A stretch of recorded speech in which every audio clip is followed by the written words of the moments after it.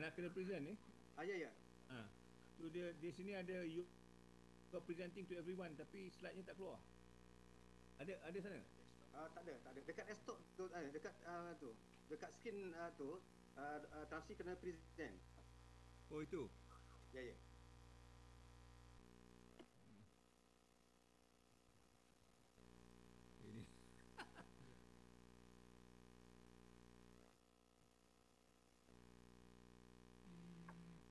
Betul tak?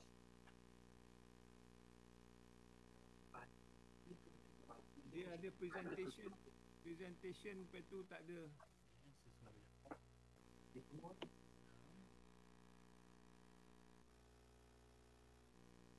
di entire screen.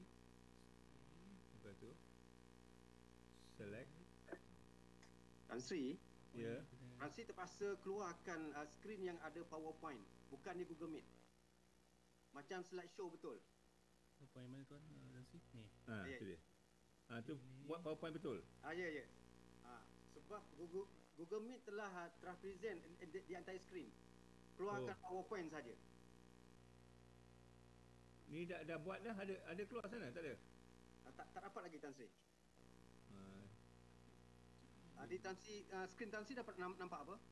gambar empat empat empat jejaka yang Oh ka- kalau kalau begitu belum lagi Tan Tan Sri. ah tu Di skrin okey.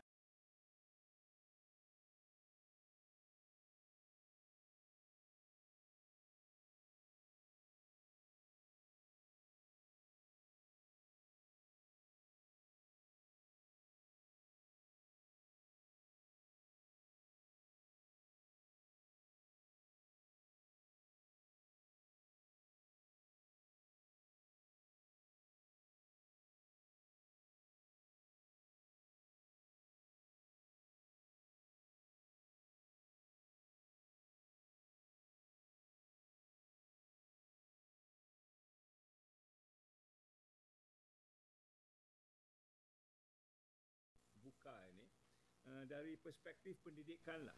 Uh, kalau kita nak ambil perspektif yang lebih luas agaknya uh, saya pun tidak mampu dan mungkin masa pun masih pun tidak ada. Eh. So kita nak mula dengan dengan dengan apa yang kita maksudkan dengan dengan buka ni dulu.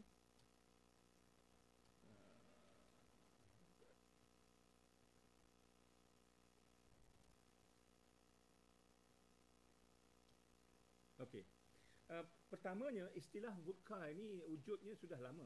Pada tahun 90-an di waktu peng, uh, permulaan uh, pe, uh, apa ni peperangan dingin uh, dengan antara mereka Amerika dan du- dunia Soviet khususnya. Uh, masa itu dilihat bahawa uh, pergolakan peperangan itu membuat satu uh, keadaan yang tidak menentu uh, dalam dunia dan menjadikan uh, apa tu pentadbiran pengurusan begitu sama-sama tak ada benda yang menentu kita boleh bayangkan seolah-olah dalam keadaan uh, covid hari inilah tak ada satu benda yang kita pegang yang kita boleh mampu mengatakan ini di masa kehadapan tapi melainkan besoknya bertukar ambil sajalah uh, soal MCO ni misalnya dia bertukar tiap hari dan sebagainya jadi soal-soal yang kita nak katakan apa itu vodka itu sudah memberi kita satu penentuan yang dimaksudkan sebagai normal baru. Ini istilah normal baru. Semua saya punya grafik tak tak, tak keluar ni. Saya rasa macam mana cerita ni. It's three Uh, o'clock. Tan Sri uh, present apa tu? The slideshow yang Ha, slide slide show memang Show. present tapi dia dekat punya bawah. dia punya gambar tak keluar. Uh, saya nampak masih lagi dalam macam uh, mood apa lagi? Uh, Mood, mood edit. Kami nampak tapi dalam mood edit bukannya slideshow. Ya ke? Ya ya. Macam mana? Nanti bagi bagi kita urus betul-betul lah. Ini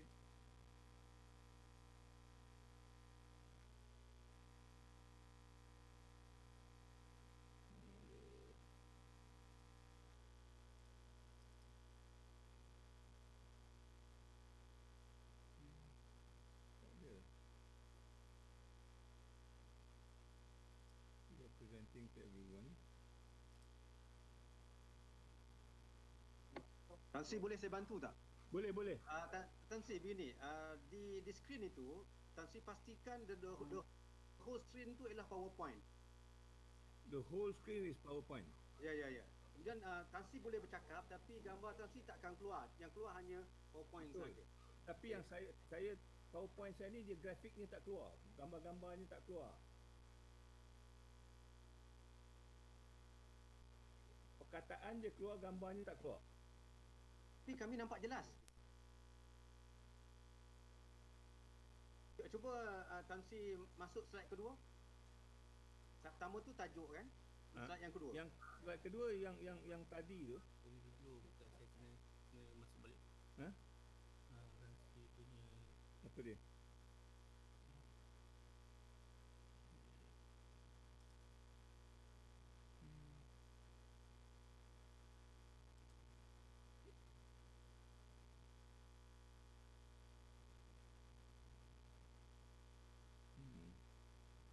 Saya keluar tadi balik. Yang apa ni? Tak apa, Tansi boleh ambil masa tak apa.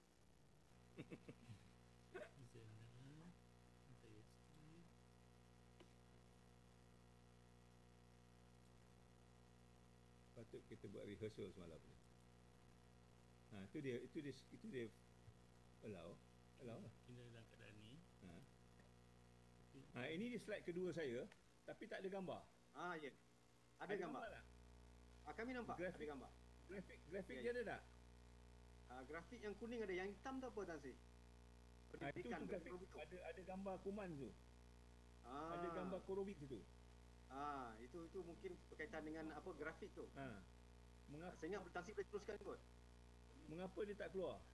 Ya. Kalau kalau PowerPoint biasa dia keluar dah. Ah, yalah.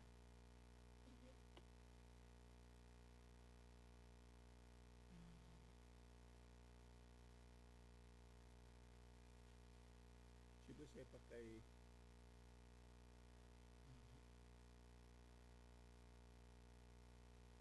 tak, dia tak boleh dah nak ulang-ulang ni dia.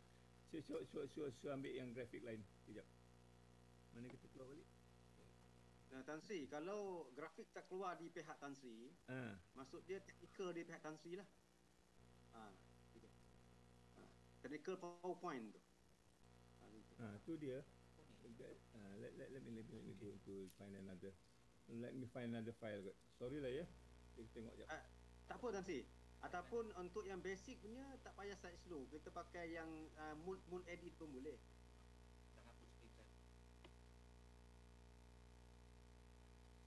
yang yang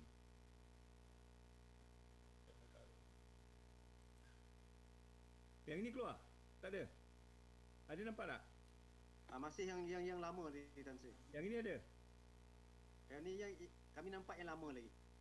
Ha, cuba yang ini yang ini keluar cuba cuba let's cuba masukkan ini macam mana macam mana caranya nak Kalau Tansi buka yang baru, cuba minimize yang lama dulu.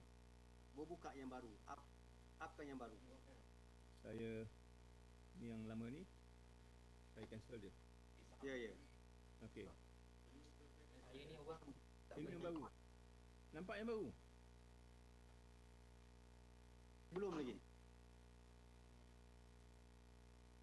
Ada ada tak? Uh, belum lagi Tansi. ini. Apa tu? Tak presenting. Presenting now balik. Entire screen. Bismillahirrahmanirrahim uh, mana dia ni eh? hello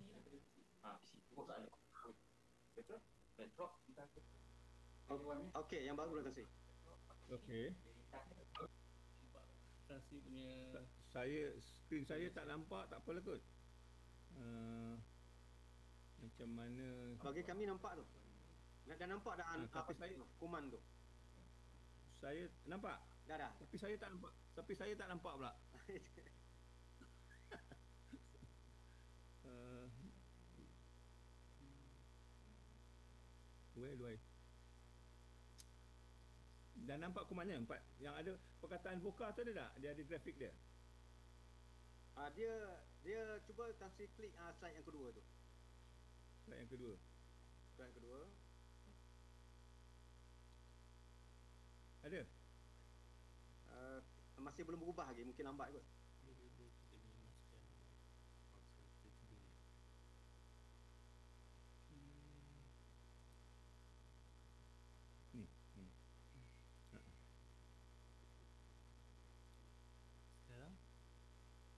Sekarang ada. mood apa? Mood apa? Ada. Berubah. Uh, kami nampak slide yang nombor satu, tajuk tu. Yang nombor dua belum ni.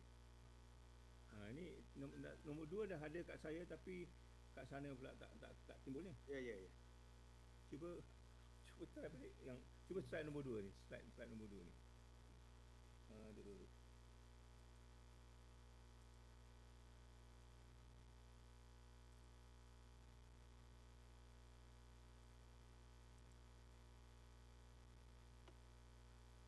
Dia tergantung dulu.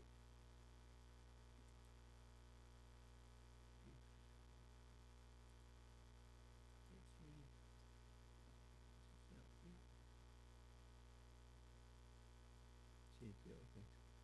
Jangan.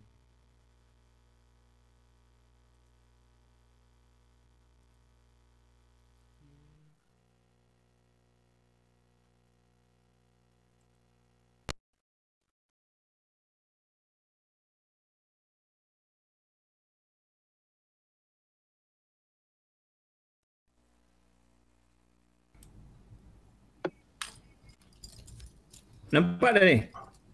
Okey, yang ni nampak. Nampak nampak grafik Masih ni sekali. dekat. Mas, masa uh, nampak coronavirus pun nampak. Yang yang lain nampak tak? Okey, yang ni nampak. Uh, yang lain nampak. Nampak Kompleksiti buka yang yang apa bintik-bintik tu Ah, masa okey. Ah, nampak kemudian uh, ada Yang- peta yang lain dunia nampak dan tak? sebagainya nampak Ah, okey. Yang ni Aku nampak. mungkin Yang lain kita nampak, boleh mula lah. InsyaAllah. buka Walaupun dia yang- punya yang dia punya animation ni nampak tu, tak juga tak apa. masa. Okay. So saya katakan tadi bahawa ah, istilah vodka ni datangnya di di awal perang dingin eh, pada eh, tahun yang- 1910-an yang meletakkan semua benda dalam keadaan yang tidak menentu bergolak dan sama-sama supaya sehingga kan kita nak membuat keputusan begitu sukar apa lagi nak mengurus ataupun mentadbir ya. Oleh itu mereka mem- membawa satu lagi kefahaman mengatakan ini normal baru. Normal baru maknanya apa yang kita buat dulu buat sekarang. Jadi dicari uh, bibit-bibit yang baru yang seolah-olah boleh membantu kita untuk apa ni uh, uh, menentukan bagaimana kita nak mengurus uh, masa hadapan yang dikatakan vodka tu. Vodka itu uh, maksudnya seperti semua orang tahu V itu adalah volatile ya. Saya gunakan istilah bergolak dalam keadaan ini dia tidak menentu. Uh, U itu uncertain dia tidak menentu dalam konteks yang yang kita fahami kita tidak boleh uh, gunakan dia untuk membuat keputusan kerana dia sering berubah daripada masa ke masa. C itu kompleks. Saya gunakan istilah Melayunya kusut-kusut masai. Yang kita boleh bayangkanlah rambut kalau kusut masai memang susah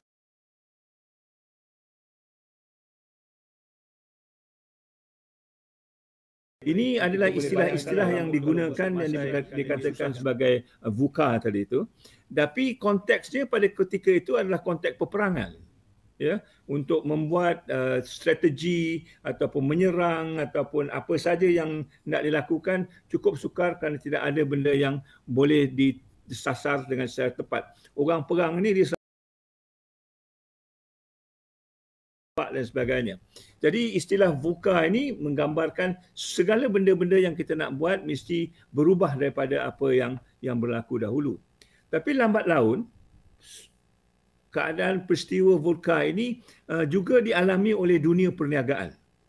Kita lihat perniagaan naik turun dan sebagainya dan juga tidak menentu dan oleh itu orang-orang pengurusan mengambil istilah VUCA ini sebagai salah satu daripada cabaran mereka untuk mengurus perniagaan yang tidak menentu serupa macam sekarang ini. Harga minyak jatuh, uh, semuanya tidak menentu, uh, kedai tutup, duit banyak tapi tak tahu macam nak gunakan. Dia konteks perniagaan dan orang-orang pengurusan lah yang sebenarnya memberi makna dalam konteks yang ada sekarang ini apa yang dimasukkan sebagai VUCA itu. Ya. Tapi dalam dunia yang kita ada sekarang ini, bukan saja konteks perniagaan itu menjadi bergolak, tidak menentu dan samar-samar, juga dalam keadaan kesihatan. Dalam kesihatan ini sudah berlaku banyak-banyak kali, tetapi uh, kesannya tidak sebegitu semacam mana yang kita ada. Kalau kita ambillah misalnya AIDS, AIDS dulu VUCA juga, tapi dia ber, ber, apanya peristiwanya itu tidak tidak se, se, seluas macam mana yang kita ada. Dia terhad kepada orang-orang yang menggunakan dada, menggunakan orang homoseksual, uh, kumpulan-kumpulan yang tertentu saja. Yang lain langsung tidak ada kena-mengena. Jadi VUCA itu tidak dirasai dari segi dari segi uh, apa itu kesihatan. Melainkan sekarang ini apabila kita berhadapan dengan satu kuman yang nampaknya tidak langsung menghormati uh, darjat ataupun kedudukan ataupun sempadan siapa saja yang melaluinya akan akan di apa tu dijangkiti olehnya. Jadi istilah VUCA ini boleh kita gunakan dalam konteks yang boleh dikatakan kita tidak pandai mengurus ataupun tidak boleh mengurus dan tidak boleh mentadbir ya. Saya mengambil pandangan yang sama akibat daripada kesihatan yang sebegini rupa, pendidikan pun sudah melalui alam yang saya kata sebagai alam vulka. Sebab tu saya ingin hanya bercakap tentang soal-soal pendidikan saja kerana ini agaknya lebih uh, menyentuh kita dalam pengurusan kita setiap hari. Apa yang kita nak lakukan sekarang ini apabila sekolah semua dah tutup? Apa yang kita nak lakukan sekarang ini apabila kita nak keluar keluar rumah pun uh, sudah dihalang? Apa yang nak berlaku sekarang ini apabila kita mengatakan online tapi anak kita tidak ada connectivity? Apa yang nak berlakukan sekarang ini kalau kita katakan uh, kita terpaksa buat face to face tetapi kita terpaksa juga uh, menjaga apa itu uh, jarakkan fizikal dan sebagainya. Ini adalah benda-benda baru yang dulu kita ambil ambil tak ambil pusing pun. Kita kata nak buat dia akan jadi begitu saja tetapi sekarang ini banyak pertimbangan-pertimbangan yang baru yang boleh kita katakan dia bergolak menentu kusut dan juga samar-samar bentuknya. Dan cuma kita fokuskan kepada apakah faktor yang yang yang mengalaminya iaitu adalah faktor-faktor yang dikatakan sebagai uh, coronavirus ini ya.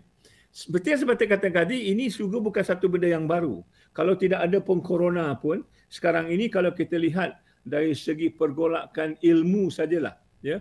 Uh, terbaru sebelum corona pra corona orang sudah mengatakan sedemikian. Dalam tahun 2020 ya ilmu akan berlipat ganda setiap 12 jam. Maknanya kita datang uh, pejabat pukul pukul 8 ya dan sampai 12 jam apa yang kita belajar kali ini sudah berlipat ganda ini satu fenomena yang agaknya menjejas pendidikan ataupun perkembangan ilmu dengan begitu mendadak. Apa yang saya tahu 12 jam sebelum ini, 12 jam kemudiannya mungkin tidak lagi berguna. Jadi bagi kita di pendidikan, kalau kita mengajar anak-anak kita tentang fakta-fakta yang tertentu, fakta-fakta itu agaknya jangka masanya hanya 12 jam. Selepas 12 jam, fakta itu akan berubah. Ini kita dapat alami dan kita lihat dalam era COVID ini. Apa saja keputusan yang dibuat hari ini, besok mungkin bertukar. Tak sampai kadang-kadang besok, uh, dalam beberapa saat atau beberapa jam akan bertukar. Kerana apa? Kerana kita tidak faham apa ini kuman uh, COVID ini. Ya, kita tidak faham apa uh, apanya tabiatnya ataupun bentuk tindakannya kita tidak faham. Dulu orang kata bahawa minum air panas boleh mati kuman. Sekarang ni kau cakap itu orang ketawa kat kita. Pasal benda ni tidak sudah berlaku. Ya? Betul betul betul. Ha, jadi, jadi kita menggunakan maklumat itu tidak tepat kerana maklumat itu sentiasa berubah dalam faktor yang begitu singkat. Ini menjadi satu cabaran besar dalam kita mengajar anak-anak kita dalam kita berhujah dengan orang lain kerana ilmu yang kita gunakan sekarang ini mungkin ilmu yang tidak ada lagi relevannya. Ha, ini dia saya kata cabaran yang pertama kalau kita bercakap tentang VUCA dalam dunia dalam dunia pendidikan. Ya. Orang-orang yang boleh hidup dalam ini mengikut kajian yang ini adalah orang-orang yang mempunyai disiplin ataupun bidang-bidang yang dikuasai lebih daripada satu bidang iaitu dia boleh menghubungkan bidang sains dengan bidang sastra, dengan bidang agama, dengan bidang pengurusan yang dikatakan sekarang ini sebagai the multidisciplinary ataupun transdisciplinary kind of education. Kalau saya seorang ahli sains, saya tidak boleh hidup dalam dunia VUCA ini kerana saya tidak dapat menghubungkan ilmu saya dengan ilmu-ilmu yang lain. Jadi Tan Sri maksud dia Tan Sri, ya. maksud dia kalau kita apa uh, analogikan pada pemimpin sekolah ataupun pemimpin pendidikan, mereka pun perlu ada multidisiplin gitu. Betul. Betul. Ini masalah sekarang ini. Orang politik cakap pasal politik je. Bila cakap tentang sains, dia dalil tentang pukang. Orang sains cakap tentang sains saja. Bila bercakap tentang kemanusiaan, dia tak faham. Orang kemanusiaan cakap tentang kemanusiaan saja. Bila cakap tentang sains, dia pun tidak tahu. Jadi ilmunya itu nampak sangat disempiti. Dalam kefahaman kita sekarang ini, soal-soal disiplin maknanya tidak penting lagi. Dia mesti merentas bidang. Kalau Universiti Sains Malaysia tidak ada maknanya lagi. Universiti Teknologi Malaysia tidak ada maknanya lagi kerana mereka terpaksa rentas bidang. Jadi Atau, maksud dia Tan Sri, ya. Uh, bagi pihak itu cabaran yang besar tu sebab kita terpaksa melatih pemimpin sekolah yang multidisiplin juga tu. Betul. Sekolah pun sudah tidak ada lagi sains, kelas sains, kelas sastra, kelas ini, kelas itu tidak ada. Dia mesti merentas bidang. Ini adalah cabaran pertama yang ada dalam dunia VUCA. Kalau kita lihat ini, maknanya kita semua sudah tidak relevan lagi. Guru-guru tidak relevan lagi. Kalau guru matematik hanya pelajar-pelajar tentang matematik, tidak tahu bidang-bidang lain, dia tidak relevan lagi dalam konteks ini. Ha, ini dia VUDKA pertama yang perlu kita hayati. The multidisciplinarity of education. Sanggupkah kita berbuat sedemikian sedangkan set minda kita masih penghususan, mendalam penghususannya. Mungkin itu di peringkat yang tertinggi okey, tapi tapi di peringkat-peringkat yang rendah ini dia tidak ada pengkhususan. Semua orang mesti tahu serba-serbi kerana dia terpaksa you have to connect the dots. Maknanya yes. kalau kita tidak Dan connect kita, the dots, we will not kita juga kena unpack the curriculum lah. Mesti. Mesti. Yes. Ha, ini dia. Ini dia cerita-cerita yang IAB mesti mesti fikirkan. Sekali katakan think tank ini, apa yang perlu kita lakukan. Sebab tu di banyak negara maju, silibus tidak ada lagi. Mereka tidak ada silibus seperti mana yang kita kata sekarang ini. Ya, Jangka masa belajar mereka telah juga tidak menentu. Uh, mereka mengikut minat pelajar. Kalau pelajar itu berminat, jangka belajarnya panjang. Kalau tidak berminat, mati di situ saja. Ini semua adalah perkara-perkara yang sekarang ini sedang bergolak. Tapi Malaysia masih dengan cara lamanya saja. Ya, masih dengan peperiksaan. Mesti ada peperiksaan. Kalau tidak ada peperiksaan tak jadi. Sekarang ini orang belajar tidak ada peperiksaan pun. Kerana peperiksaan itu diadakan se, sepanjang jalan. Ya, sini seolah-olah kita ada kompas lah. Kita nak pergi jalan, kita mana, mana kompas kita kita ikut ini kalau peperiksaan maknanya kompas ni kita simpan dah sampai ujung jalan baru buka dah sampai penghujung jalan nak buka kompas. Apa gunanya? Ya. Ha, ini yang dikatakan vodka yang berlaku di dalam dunia pendidik sekarang. Dan tambah pula diasak sekarang ini dengan uh, coronavirus ini yang mengatakan kepada kita now stay home. Jangan keluar. Pada kita kalau stay home itu tak belajar lah. Pasal kita faham belajar mesti ke sekolah kalau tak ke sekolah tak belajar, main-main. Ya. Sedang sekarang ini kalau ilmu itu bertukar setiap 12 jam, tak payah sekolah pun kita tak akan belajar. Di dalam bas pun kita akan belajar. Kerana kalau uh, kalau kita, kita mengembara 12 jam, okay. sudah uh, Tan Sri, boleh saya mencelah eh? Boleh, sila. Uh, bagaimana kita uh, kita nak nak memastikan bahawa tak berlaku mismatch? Di antara contoh dia kalau kita telah membina satu silibus yang multidisiplin. Ya. tetapi uh, masyarakat budaya masyarakat masih lagi stigma dia masih lagi tradisional. Macam mana kita nak nak, nak elakkan berlaku mismatch begitu? Ini masalah besar kita. Kita mengambil isyarat daripada masyarakat. Sebenarnya masyarakat matut mengambil isyarat pada kita. Kita yang mendidik. Siapa yang mendidik sekarang ni? Masyarakat mendidik kita ke atau kita mendidik masyarakat Soalnya di Malaysia ini kita dengar apa masyarakat kata. Mak kata begini. Oh kita mesti buat kerana apa? Kata maknya kata begitu. Tapi maknya bukan cikgu. Kita yang cikgu. Kita patut mengajar maknya. Macam ini caranya. Pasal kita bercikgu. Orang politik pun begitu juga. Orang politik mengatakan begini, begini, begini. Oh, kita anggap baik, baik, baik, baik, YB, baik, YB. Siapa yang mendidik? Dia ke kita? Sebab itu pendidikan kita lintang pukang.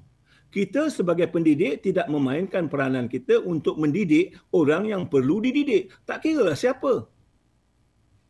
Jadi di mana kita nak mengambil permulaannya?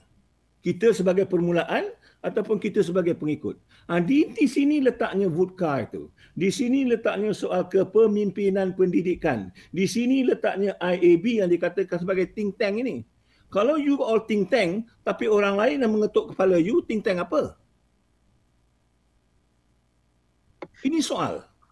Kalau kita nak berubah, kita sebagai pendidik mesti memainkan peranan untuk mendidik bukan mendidik sekadar pelajar saja, mendidik siapa saja yang perlu dididik dalam konteks yang ada sekarang ini. Saya mengatakan dalam dunia pendidikan, kita patut mengambil kepemimpinan kerana ini adalah bidang kita. Kita faham tentang vulka ini dari segi pendidikan. Jadi soal ibu bapa mengatakan begini dan begitu, kita patut mengatakan ibu macam ini caranya. Kerana ini dia alasannya. Jadi kita memainkan peranan sebagai think tank. Barulah ada makna think tank ini. Sekarang ini think tank ini sekadar, sekadar mengangguk saja. Bukan think tank bagi saya think tong lah kot. Ya, kosong dia. ha, ini ini ini ini ini satu perkara yang besar. Ya. Misi yang kita berani membawa ke tengah. Tapi kita pun tak berani bawa ke tengah kerana bila YB datang, kita semua jadi pengikut bukan lagi pemimpin. Okey, uh, Tan Sri, izinkan saya untuk iklan sekejap boleh? Tidak. Okey, uh, bagi warga pendidik, warga-warga IB yang uh, baru uh, bersama-sama kita pada petang ini, uh, pihak Ustia mohon maaf sebab tadi perawal ni Tansi ya, kita ada masalah teknikal sikit. Namun begitu kita telah melepasi hampir seribu uh, penonton sekarang di, di udara Tansi. Alhamdulillah. So uh, bagi pihak Urustia uh, 1500 Tansi ya. So bagi pihak Urustia kami mohon maaf di awal tu ya uh, sebab uh, masalah teknikal itu. So uh, dengan itu saya saya saya apa silakan Tan Sri untuk teruskan. Okey. Jadi kalau itu kedudukannya bagaimana kita nak faham apa yang akan berlaku. Ya. Jadi kita mesti faham sekarang ini kalau saya ambil istilahnya apa yang berlaku di abad ke-20 untuk menyesuaikan dalam keadaan sekarang kita kata ini abad pra-covid. Ya, pendidikan pendidikan kita pra-covid apa dia? Kita saya katakan 3M. Yang saya maksudkan 3M apa? kalau kita mendidik walaupun kita panggil pendidikan kita tumpuan kita lebih kepada manpower kita nak mengeluarkan apa ni uh, apa tu uh, apa tu pekerja-pekerja. Ya yang ditentukan pekerjaan. Anak-anak kita keluar daripada universiti mesti dapat pekerjaan. Kalau tak dapat pekerjaan maknanya dia tidak terdidik. Itu ciri yang pertama yang kita baca ya. Di sekolah kita akan asuh minda dia ya. Kerana apa? Dia akan kreatif dia akan inovasi dia akan buat segala-galanya dan dia boleh membantu pekerjaannya kalau dia orang bisnes ya. Dan dia juga boleh membuat uh, perkara-perkara yang baru mesin-mesin baru uh, apa ni alat-alat baru yang menggunakan teknologi-teknologi yang canggih ini dia susunan pemikiran kita masuk sekolah pasal apa nak kerja mengapa kerana kita sebenarnya nanti akan dapat ya duit yang akhir sekali itu 4M ni money. Kita bekerja kerana kita nak cari duit. Ya. Ha, kita nak berinovasi kenapa? Kita nak cari duit. Bercakap inovasi lah di sekolah. Pasal apa inovasi? Pasal ini boleh jual. Dan dia jadi bisnes ya. Ha, mengapa guna teknologi ini? Kerana dia boleh melariskan ha, apa ni perniagaan dan sebagainya. Pokok pangkalnya kehujungan kehujungannya adalah basically tentang duit ya mencari duit yang saya gunakan perkataan nilai ya dan semuanya ini diterjemahkan dalam konteks yang dipanggil sebagai KPI tak semua cikgu saya rasa pernah dengar perkataan KPI ni. Mesti ini nombor ni. Kalau ini ini nombornya. Kalau ini ini nombornya. Kalau budak mesti 5A kalau ini ini nombornya. Mesti ada nombor. Kalau tak ada nombor tak boleh pakai. Ya. Dalam dunia voka nombor ni tak pakai lagi dah. Ambil sajalah sekarang ini. Ya. Sekarang ini kita bercakap dalam dunia COVID ini, orang tak peduli apa nombor. Asalkan dapat hidup cukup. Akan dapat makan cukup. Nombor berapa dia tak peduli. Kerana kucar kacirnya sedemikian rupa. Jadi set minda kita dalam dunia pra-COVID ini ditentukan oleh 4, 3M tadi atau 4M ni. Manpower, ya, guna tenaga. minda mengasuh minda ya kesudahannya menggunakan teknologi yang saya katakan mesin tadi dan apa kesudahannya kesudahannya mengumpul kekayaan mengumpul kebendaan itu dia yang yang penting bagi bagi kita sekarang ya sudah itu saya ni saya punya grafik saya punya apa tak tak tak bergerak ni uh, jadi bila datang si si si uh, uh, coronavirus ini ya benda-benda ini semua tak berjalan dah orang dah tak ada kerja. Ya. Keluar rumah pun tak boleh. Ya. Teknologi yang dikatakan 4 IR ni semua jam. Pasal apa? Pasal orang nak keluar bekerja pun tak ada apa gunanya teknologi. Ya. Kesudahannya ekonomi merosot. Ha, ini yang sedang berlaku. Yang sekarang ini sedang berlaku krisis kemanusiaan itu kesudahannya jadi krisis ekonomi. Ha, sebab itu sekarang ini kerajaan nak buka, mula buka kedai supaya kita boleh uh, meniaga dan buat duit balik. Ya. Jadi susuk pendidikan yang sebegini rupa dalam dunia vodka tidak akan dapat berfungsi. Kerana banyak benda-benda yang tidak menentu. Ya. Jadi apa yang kita lihat dalam dunia pasca vodka ini, yang saya katakan sekarang ini kita terpaksa beralih kepada daripada 3M kepada 4M, 4H ataupun 3H. Apa yang saya maksudkan 3H? Ya, ini dia punya dia punya apa ni? Dia punya animation ni dah tak tak bergerak so saya terpaksa cerita lebih sikit, ya. Ah, tak apa, teruskan, teruskan.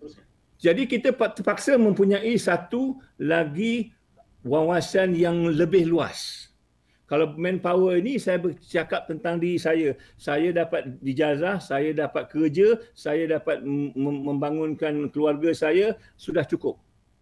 Ya. Jadi masing-masing dengan cara masing-masing lah. Ini katakan the siloed mentality ni. Asalkan aku dapat membina hidup aku, aku punya pasal, awak semua lain, lain cerita dalam dunia COVID ini kalau saya menjaga diri saya saja, saya tidak menjaga uh, jiran saya, jiran saya itu nanti akan menjadi masalah kepada saya.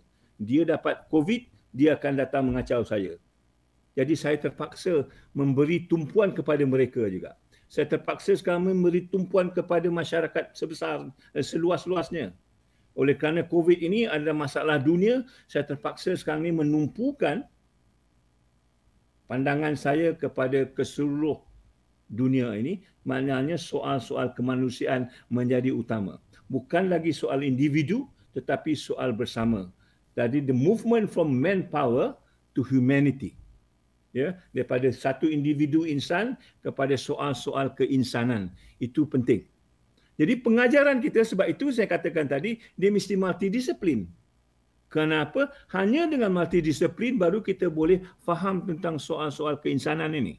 Kalau tidak, kita tidak dapat faham. Orang sains tidak faham tentang soal keinsanan. Saya orang sains. Ya. Tentang kemiskinan, saya tidak faham apa itu kemiskinan. Pasal dalam sains kita tidak diajar tentang kemiskinan ini. Ya. Soal-soal simpati, saya tidak tahu apa itu simpati. Pasal dalam dunia sains ini tidak ada.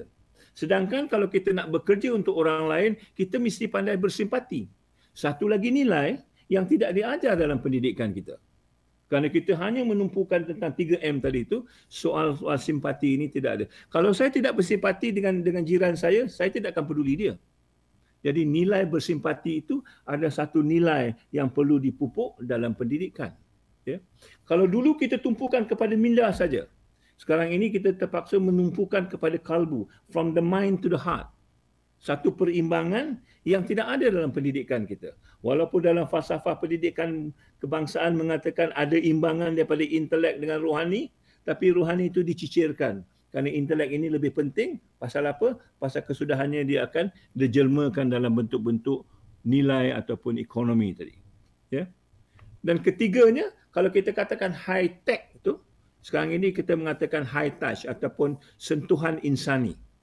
Kita ada mesin tapi tak apa tetapi kita tidak mau menjadi kepada mesin. Kita mahu menawani mesin itu sebagai alat yang menggunakan menjadikan kita lebih ampuh.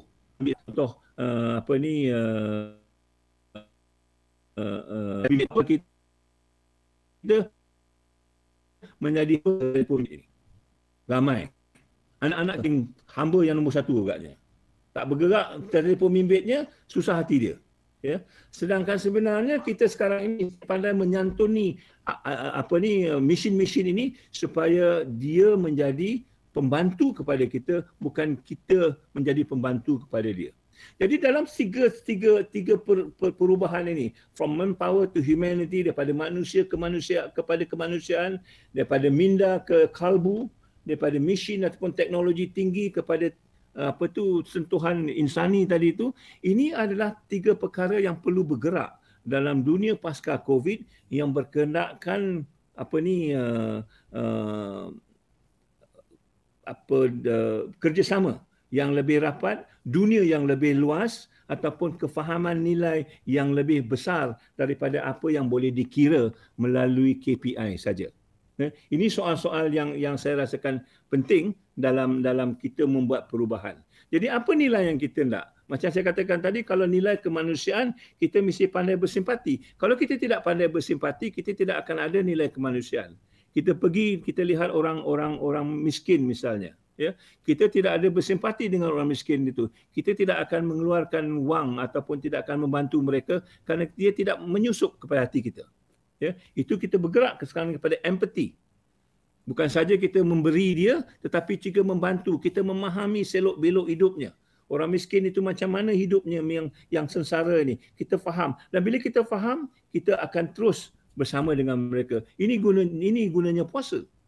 Kita berpuasa 30 hari kerana kita nak memahami macam mana orang miskin hidup supaya kita dapat empathy dengan mereka.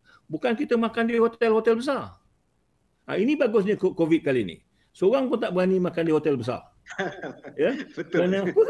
Kerana makan di hotel besar, COVID tu akan makan kita.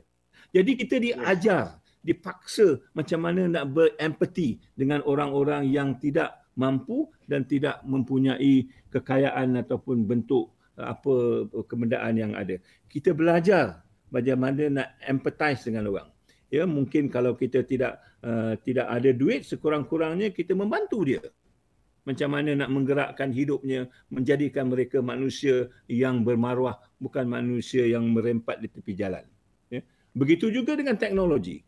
Kalau kita ada teknologi, tetapi bagaimana kita menyantuni teknologi itu supaya teknologi itu bukan menjadi bukan memperhambakan kita.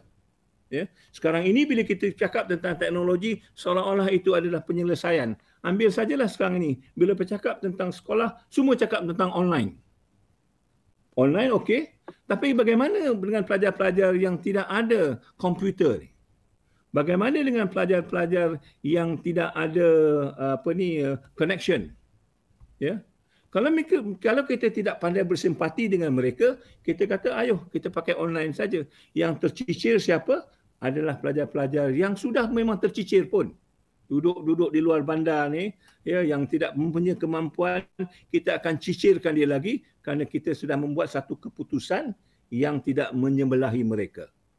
Oleh itu, mereka akan terus tercicir dan dikatakan no one left behind ini hanya satu dongengan. Ya tidak siapa yang tercicir. Memang sudah tercicir pun. Apa yang dikatakan no one left behind ini?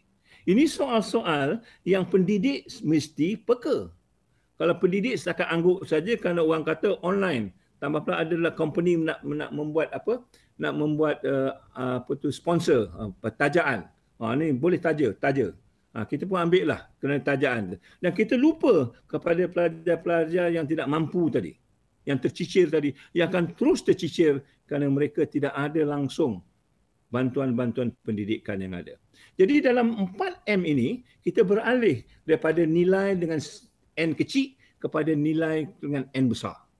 Iaitu satu nilai yang kita gunakan untuk memanusiakan manusia. Sekarang ini manusia sudah lupa kemanusiaannya.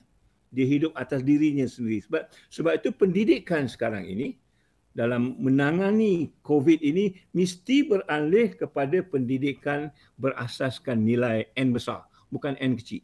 Selama ni N kecil. Pendidikan boleh boleh ada ekonomi jalan. Kalau tak ada ekonomi tak payah. Sekarang ini bukan itu asasnya. Di mana nilai itu boleh memupuk kemanusiaan, menjadikan kita manusia, itu dia nilai yang kita nak bawa. Ini satu perubahan cukup besar. Ya. Jadi rungutan yang mengatakan pendidikan tanpa roh tadi. dalam adanya pasca COVID ini kita kembalikan rohnya. Dengan apa kita kembalikan rohnya? Dengan mengadakan pendidikan-pendidikan yang berasaskan nilai, yang memberi makna dan nafas kepada roh manusia itu sendiri. Ini satu perubahan yang cukup besar. Ya, Jadi ini satu perubahan Ansyi, yang cukup besar. Kalau kalau kita buat kerangka tu, Ya, ah, nilai tu N besar tu dia tunjang kepada kerangka tu. memang betul. Betul tak? Memang betul. Jadi kalau kita balik-balik, nanti kita balik-balik, kita balik-balik kepada falsafah pendidikan kebangsaan, itulah tunjangnya. Tapi kita dah humban falsafah pendidikan kebangsaan ni tak ke mana pun. Di IAB dia ajar tak falsafah pendidikan kebangsaan ni? Kalau tidak, maknanya tidak tidak dinilai lah. Maknanya kita cicirkan nilai itu, kita hanya menumpukan nilai. Saya bukan katakan nilai N kecil ni tak penting. Penting. Tapi dia tidak boleh mengatasi nilai N besar. Dia tidak boleh membeli maruah orang misalnya. Kita tak memper, mem- mempergadaikan maruah kita dengan wang ringgit. So, soal-soal rasuah ini maknanya N, N kecil ni dah makan N besar. Kita nak mengatakan bahawa N besar ini akan menentukan di mana kita nak menggunakan N kecil ini. Nah, ini dia pertimbangan yang sekarang ini tidak ada langsung. Bercakap dengan anak-anak muda, dia nak kereta besar, rumah besar, isteri besar, suami besar, semuanya nak besar. Ya? Tentang nilai tak kira. Ya, ya. Ini ini persoalan-persoalan yang sekarang ini perlu kita fikirkan. Kerana ada kajian, kalau kita lihat di atas itu, dia kata, the factory mass teaching method of the third revolution era has failed to conquer the enduring problems of inequity and unfairness. Maknanya sekolah-sekolah kita ni yang sekarang seolah-olah seperti gedung, seperti factory yang mengeluarkan dipanggil sebagai modal insan, ya. Sekarang ini sudah mem- menghasilkan masalah-masalah baru. Apa dia masalah-masalah baru? Inequity and unfairness. Ketidaksamarataan dan ketidaksetaraan. Ini kita lihat setiap hari. Tapi sebagai pendidik, kita tidak berbuat apa kerana kita pun agaknya tidak begitu maklum. Sekarang ini dengan adanya pasca COVID ini, pas pasca COVID ini, kita terpaksa berfikir balik apa yang perlu kita nak lakukan. Dan soalnya bagaimana kita nak mengatasi, kita balik-balik kepada VUCA ini. VUCA ini walaupun dikatakan tadi uh, apa tu uh, volatile, uncertain, complex dengan ambiguity dalam satu uh, kefahaman yang lain V itu vision ya. U itu understanding, C itu clarity dengan A itu agility. Maknanya kalau kita bercakap tentang vision itu, vision kita adalah vision yang meluas. The humanity, keinsanan, kesejagatan, kelestarian. Ini adalah wawasan besar yang boleh membantu kita dan menyelamatkan kita daripada uh, wabak-wabak seperti COVID ini. Ya. Bila kita bercakap tentang understanding, kefahaman, kita mempunyai kefahaman yang bukan setakat minda saja, bukan setakat berfikir saja, tetapi setakat juga masuk menyelinap di dalam hati dan kalbu kita. Kefahaman yang mendalam, kefahaman yang boleh membangkitkan satu perasaan untuk kita bertindak dan mengambil uh, langkah-langkah yang tertentu untuk memperbaiki apa saja keadaannya ya keinsafan yang tinggi perjuangan yang tinggi ini adalah datangnya daripada kefahaman yang cukup meluas ya. Dan kesudahannya kita bawa balik kepada soal-soal high touch tadi. Bagaimana kita menyantuni menyayangi supaya kita dapat satu lagi pencerahan tentang penyelesaian-penyelesaian yang ada ya. Dan ini adalah di antara langkah-langkah yang perlu kita lakukan. Bermaksud manusia itu mesti lincah bukan lincah dari segi fizikalnya saja tetapi lincah dari segi perasaannya, dari segi kerohaniannya, dari segi budi bahasanya. Ini adalah bentuk-bentuk kemanusiaan yang menyeluruh yang menjadikan manusia itu cukup lincah dari segi pemikirannya dan juga perilakunya dalam hal sedemikian. Ya ini ini di antara di antara perkara saya cukup rasa kecewa lah kerana saya punya animation yang saya buat tak tak bergerak ni. Jadi sampai ada KPI ini kita ketepikan saja KPI ini. Kerana dalam KPI ini kita tidak akan dapat membentuk manusia yang boleh diukur. Misalnya kalau kita bercakap tentang integriti, apa yang kita nak ukur? Manusia ini mesti ada integriti yang tinggi. Apa yang kita nak ukur? Manusia ini mesti ada disiplin yang tinggi. Apa yang kita nak ukur?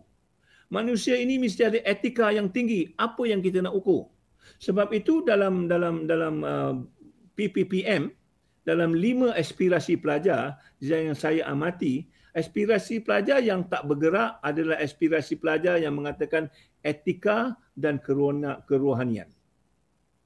Kerana apa? Kerana semua orang bila saya tanya tentang etika dan kerohanian ni macam mana? Oh, tak boleh Tan Sri. Kami tak tahu apa nak ukur. Pasal kita sudah biasakan kalau nak bergerak mesti diukur. Kalau tak boleh buku jangan buat. Ya.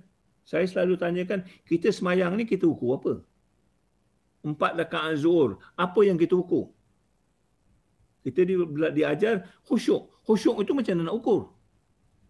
Kalau dalam ibadah kita boleh buat sesuatu yang tidak boleh diukur, menjadikan kita manusia, mengapa dalam pendidikan mesti semua diukur?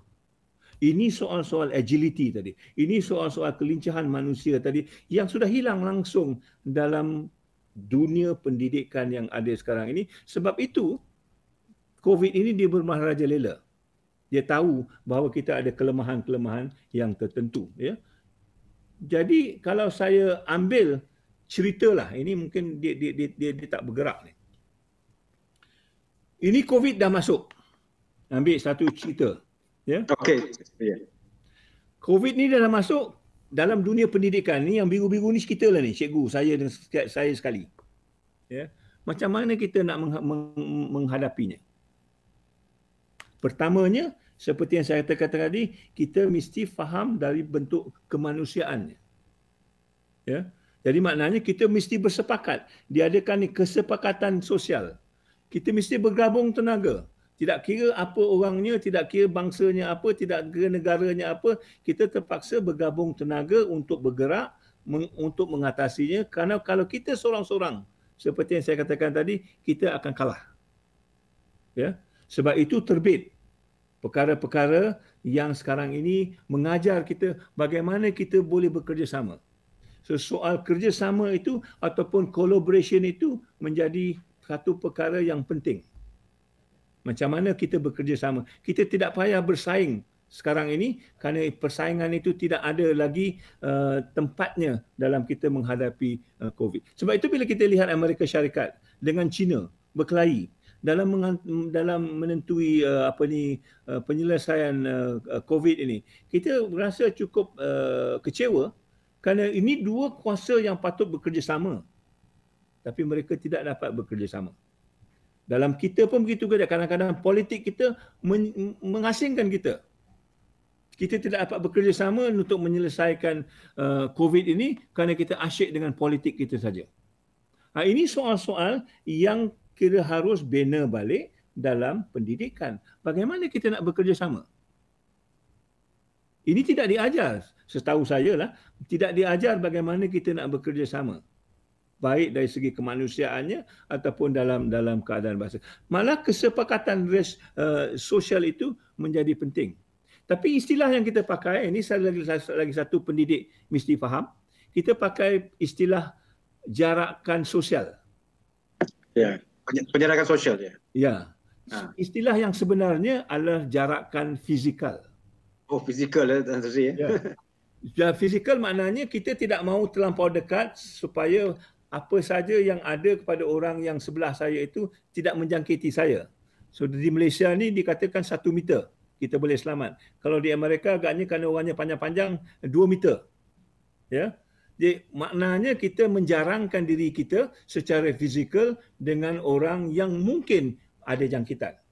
Tapi bila kita katakan jarakkan sosial ini, maknanya saya akan mengasingkan diri saya daripada kelompok sosial tadi. Maknanya kesepakatan sosial itu tidak berlaku.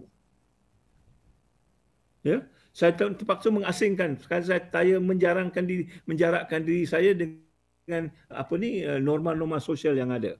Ini saja sudah mengelirukan pada pendidik ini saja sudah mengelirukan kita nak mengatakan bahawa tadi kita sepakat. Tapi dalam sepakat itu kita nak jarak pula sosial. Mana boleh? Dua perkara yang berbeza. Tapi istilah yang dipakai sekarang ini itulah dia. Baik menteri ke bukan menteri ke uh, social distancing katanya. Social distancing. Social distancing ni istilahnya keluar daripada abad kelima. Masa itu zaman kusta. Ya, zaman uh, Nabi Allah Isa misalnya, orang ada penyakit kusta. Ha, itu ada jarakan sosial kerana apa? Kerana mereka ini tidak mahu masuk dalam kelompok kita. Mereka ada penyakit. Ha, perkataan itu digunakan sekarang ini dalam konteks yang salah. Ha, ini dia kerja-kerja pendidik. Kita patut tegur orang yang macam ini mengatakan istilahnya adalah jarakan fizikal. Kita nak kesepakatan sosial bukan jarakan sosial.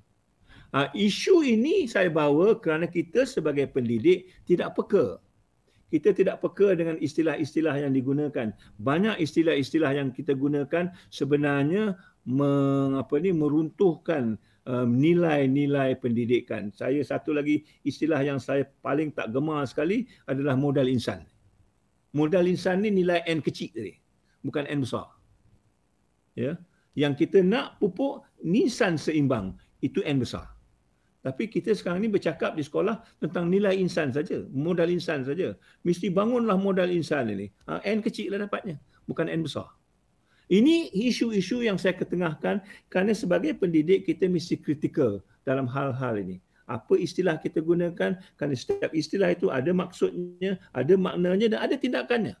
Kita bukan hanya menggunakan istilah ini sewenang-wenang untuk penyedap kata saja.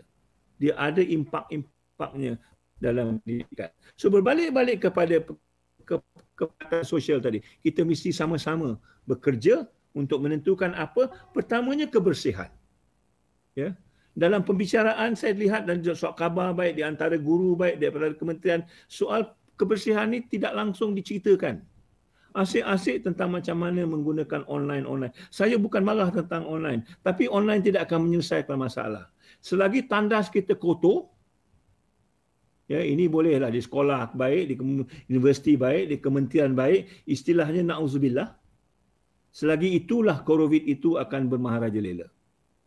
Ya. Di mana agaknya kita kang ni mengatakan bahawa di sekolah kita Tandas kita mesti sebersih sebagaimana di makmal komputer kita. Mengapa makmal komputer kita mesti bersih? Dan tandas di sekolah kita yang paling kotor sekali. Apa besarnya makmal komputer itu jika dibandingkan dengan tandas kita? Ha, ini soal-soal yang guru tidak tidak bincang. Saya, saya percaya IAB pun tidak bincang tentang menjaga kebersihan sekolah ini. Bagaimana kita nak membersihkan. Dan membersihkan ini bukan satu benda senang. Bukan sahaja macam basuh tangan. Kita tengoklah gosok di atas, gosok di bawah, pusing sana, pusing sani, sini dan sebagainya. Budak-budak dejah satu tahu buat ni.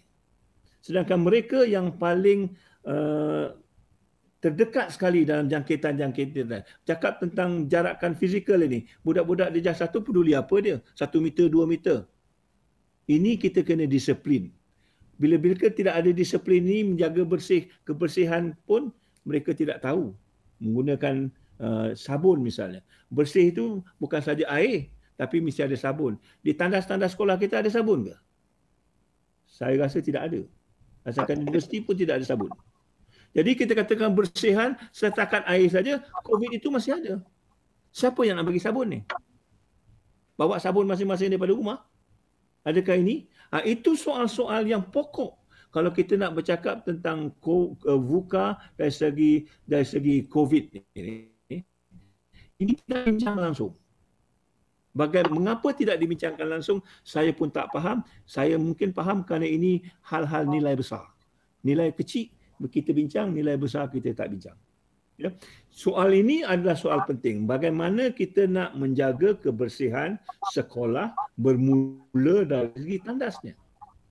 Di situlah pemupukan kebudayaannya daripada sekolah rendah. Ha, kita berbalik-balik pada cerita orang Jepun. Orang Jepun anaknya tiga tahun sudah masuk sekolah. Pertama sekali dia ajar apa? Macam mana nak membersihkan tandas ya dia tidak ajar ABC dulu. Dia tidak ajar komputer dulu. Dia tidak ajar satu dua tiga dulu. Dia ajar macam mana nak bersihkan tandas. Supaya dia hidup dia tahu macam mana nak menjaga kebersihan. Ini satu lagi buka bagi kita. Mungkin di Malaysia. So Tan Sri cabaran utamanya uh, pemimpin pendidikan masa akan datang tu ataupun pasca covid ni mereka seolah-olah macam go back to basic ini balik. dia soalnya. I like your your I, I like your your your your summary. Terima kasih banyak Ya, kesimpulan itu cukup tepat. Bila saya katakan the basic balik, bagi saya kita pulang kepada apa? Kita pulang kepada apa yang saya katakan falsafah pendidikan kebangsaan. Basicnya di situ. Basicnya 30 tahun di situ. Tetapi sekarang ni di mana falsafah pendidikan kebangsaan itu? Saya tanyalah di IAB. Adakah di, di, di dinding mana di IAB itu ada terletak falsafah pendidikan kebangsaan? Ada tak? Tak ada. Saya boleh mungkin nak sumpah kan tak tak kena lah. Tapi saya boleh boleh garanti lah. Uh, tapi kami ada letakkan dalam modul-modul kami dalam modul ada. dinding dinding sekali tak adalah dinding. tapi kami insyaallah akan datang kami akan cuba letak di dinding. Kita bawa balik kerana kita nak memahami asas tadi. Yang dikatakan balik-balik back to basic. What is the basic? The basic is falsafah pendidikan kebangsaan di situ sudah ada benda-benda yang perlu kita ajar sebagai pendidikan yang berbentuk holistik dan integrated. Ini adalah ayat pertama dalam falsafah pendidikan kebangsaan. Semua orang tahu mungkin saya just go through very quickly lah kot. Ya? Apa dia? Pendidikan di Malaysia, kalau kita katakan pendidikan di Malaysia itu, dia katanya mesti usaha berterusan. Mesti menyeluruh dan mesti bersepadu. Ini 30 tahun yang lalu kalau kita gunakan istilah sekarang, usaha berterusan itu apa? Lifelong. Ya. Menyeluruh itu apa? Holistik. Bersepadu itu apa? Integrated. Ini istilah-istilah abad ke-21. Tapi kita dah membicarakan ini 30 tahun yang lalu. Kita sudah mendahului mereka. Tapi di mana kita letak falsafah pendidikan kebangsaan? Sehingga kan kita mengabaikannya dan dia tidak menjadi sebagai ini sebahagian daripada N besar bagi saya ya? N besarnya berterusan menyeluruh dan bersepadu. It is not there in our education system. Sebab itu bila education system ini gagal kita cari orang lain punya formula. Ha, pergilah ke ha, pergi ke OECD ambillah PISA misalnya ya? Ha, latih to be. Ha, orangnya main itu juga kerana N besarnya tidak ada. Kita hasil mendahului N kecil ni dia Ya. Dalam ini kalau kita baca hikmah yang nombor satu yang saya katakan tadi berterusan menyeluruh dan bersepadu ini menjamin kualitinya. Karena apa? Kualitinya diletak atas nilai-nilai yang dikatakan besar itu sehingga kan dikatakan the whole is greater than the sum of its part. Kita melatih manusia keseluruhannya back to the issue of humanity yang saya katakan tadi. Awal-awal yang 4H tadi itu. Menuntut ilmu, Soalnya masa saya sekolah dulu saya dipanggil men, saya dipanggil penuntut. Saya tidak dipanggil pelajar ataupun dipanggil sebagai klien ya.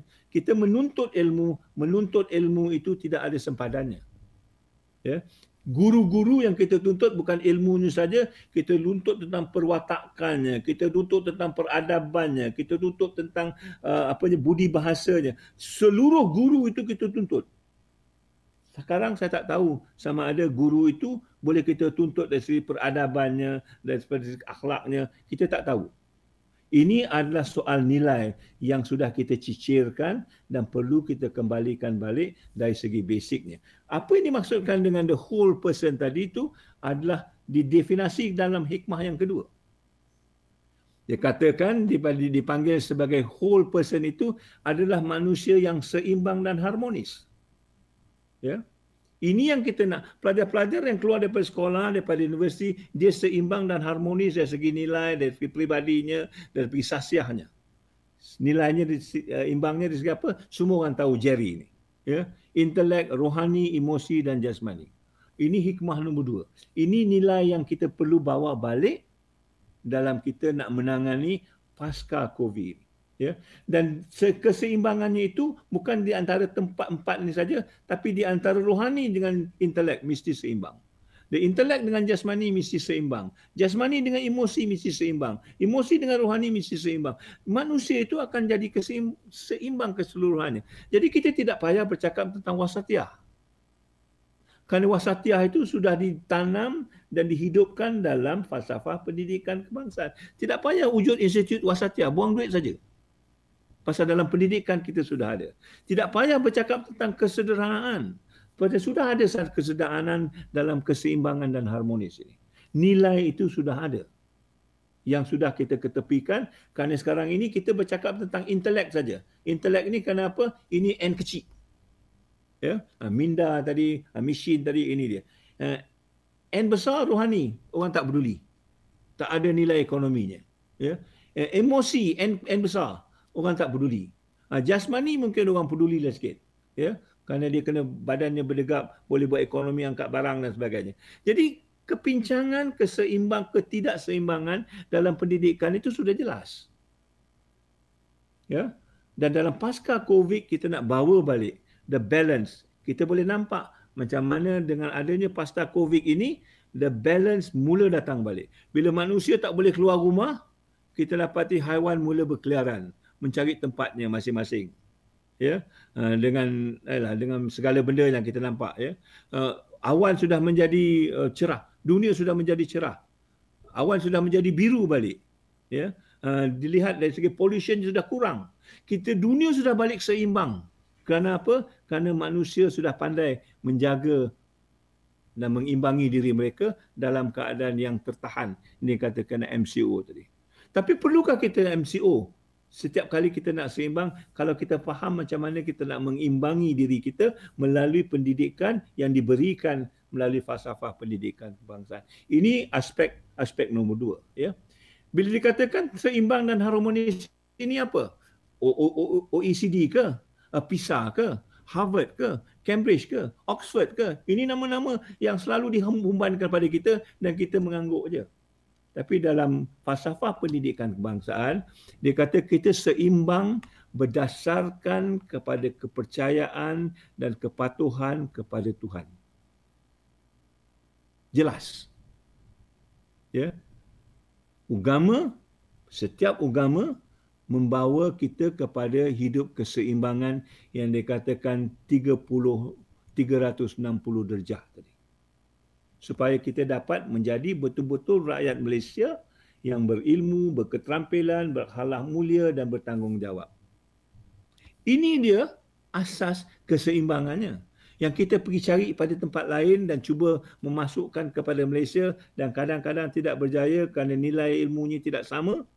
Mengapa? Mengapa kita tidak balik-balik kepada kepercayaan dan kepatuhan kepada Tuhan sedangkan rukun negara yang pertama mengatakan kepercayaan dan kepatuhan kepada Tuhan mengapa tidak diselaraskan dan dimasukkan sebagai nilai N besar untuk mendidik dalam falsafah pendidikan kebangsaan ini semua bergantung kepada kita. Orang politik mungkin tidak tahu. Tapi sebagai pendidik, kita perlu tahu. Dan kita perlu war-warkan ini. Kita perlu didik mereka ya YB kita percaya dan patuh kepada Tuhan.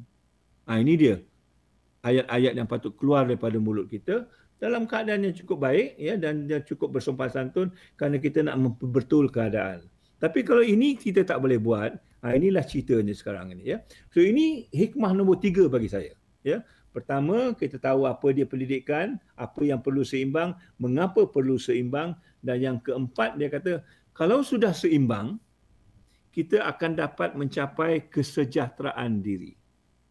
Istilah kesejahteraan diri ini adalah istilah dalam falsafah pendidikan kebangsaan. Istilah asalnya adalah sejahtera. Kita bercakap sejahtera ni setiap kali. Salam sejahtera. Ya, sejahtera Malaysia. Macam-macam ada sejahtera. Apa ini sejahtera? Ya, saya tanya orang, kalau dikata sejahtera ini adalah kemakmuran. Mungkin ya. Ada orang kata oh, sejahtera ini adalah satu kebahagiaan. Mungkin juga ya. Tapi apa sebenarnya kesejahteraan? Kalau kalau dikata sini mencapai kesejahteraan diri kita mesti boleh mengatakan bahawa diri kita ni sudah sudah sejahtera.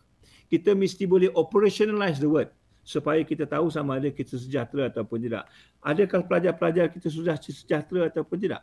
Bagaimana kita nak tahu berasaskan kepada kepercayaan dan kepatuhan kepada Tuhan, kita balik-balik kepada lima unsur yang kita kenali sebagai makasid asyariah. Makasid menentukan bahawa kalau kita ada kelima-lima ini, hidup kita akan sejahtera. Dan seterus dianya berpaksi kepada kepercayaan dan kepatuhan kepada Tuhan. Tapi mana dia ni dalam dalam pendidikan kita?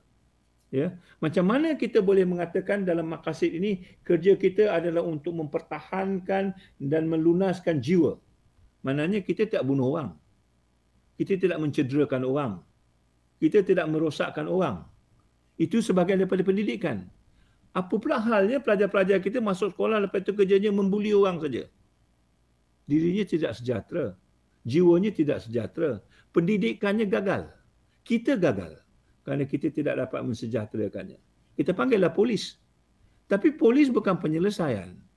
Pendidikan penyelesaian. Polis masuk dalam lokap 6 bulan keluar balik, dia akan buat kerja yang sama kerana dirinya tetap tidak sejahtera. Hanya boleh mensejahterakan kita sebagai guru. Tapi kita juga tidak boleh mensejahterakan dia kalau diri kita pun tidak sejahtera. Orang yang tidak mengalami kesejahteraan tidak akan dapat mensejahterakan orang lain. Percayalah. Ini dia sebenarnya intipati pendidikan dalam falsafah pendidikan kebangsaan yang kalau kita tahu kita boleh menangani isu-isu yang berkaitan dengan VUCA tadi. Kerana VUCA itu dia akan menjadi kusut yang pertama. Yang kita lihat sekarang ni dalam keadaan yang ada perkara yang berlaku selepas VUCA ini apa katanya? Katanya kita ada penyakit jiwa yang ter, keterlaluan di seluruh dunia. Kerana apa? Kerana manusia dalam keadaan VUCA ini tidak dapat mensejahterakan dirinya. Kita tidak ada the coping mechanism. Kita tidak pandai macam mana nak mensejahterakan diri, mengimbangi diri kita. Kita tidak diajar ini di sekolah. Jadi dia akan berputar balik. Sudah habis cerita COVID, akan satu lagi cerita yang lain yang menjadi satu lagi bentuk buka dalam hal ini. Jadi soalnya sekarang ini bagaimana kita nak membawa balik kesejahteraan ini dalam pendidikan. Dikatakan seimbang tadi adalah me, apa ni mendekati isu-isu kesejahteraan diri masyarakat dunia dan juga keseluruhannya ya.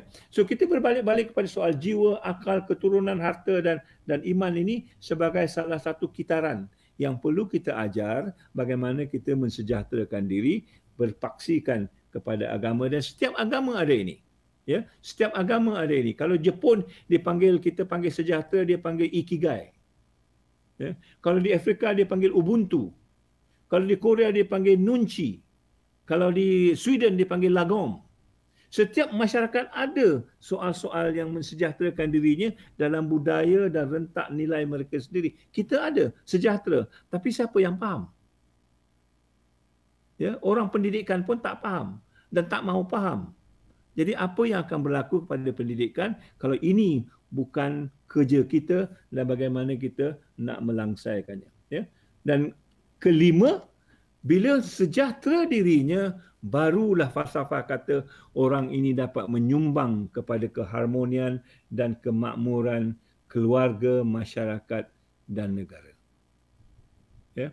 Kalau dirinya tidak sejahtera dia tidak akan dapat menyumbang kepada keluarga masyarakat dan negara dalam susunan itu disejahterakan keluarganya dulu. Baru dia dapat mensejahterakan masyarakatnya. Baru dia dapat sejahterakan negaranya. Ya. Dia tak boleh nak menjadi pemimpin masyarakat asal tapi rumahnya lintang pukang. Ya. Dia tidak boleh memimpin negara kalau masyarakatnya lintang pukang. Ataupun keluarganya lintang pukang. Dia mesti ikut susunan begitu. Disejahterakan dirinya dulu kemudian disejahterakan masyarakat keluarganya, masyarakatnya, negaranya, baru dunia. Ha, ini dia susunan-susunan pendidikan yang perlu kita lalui.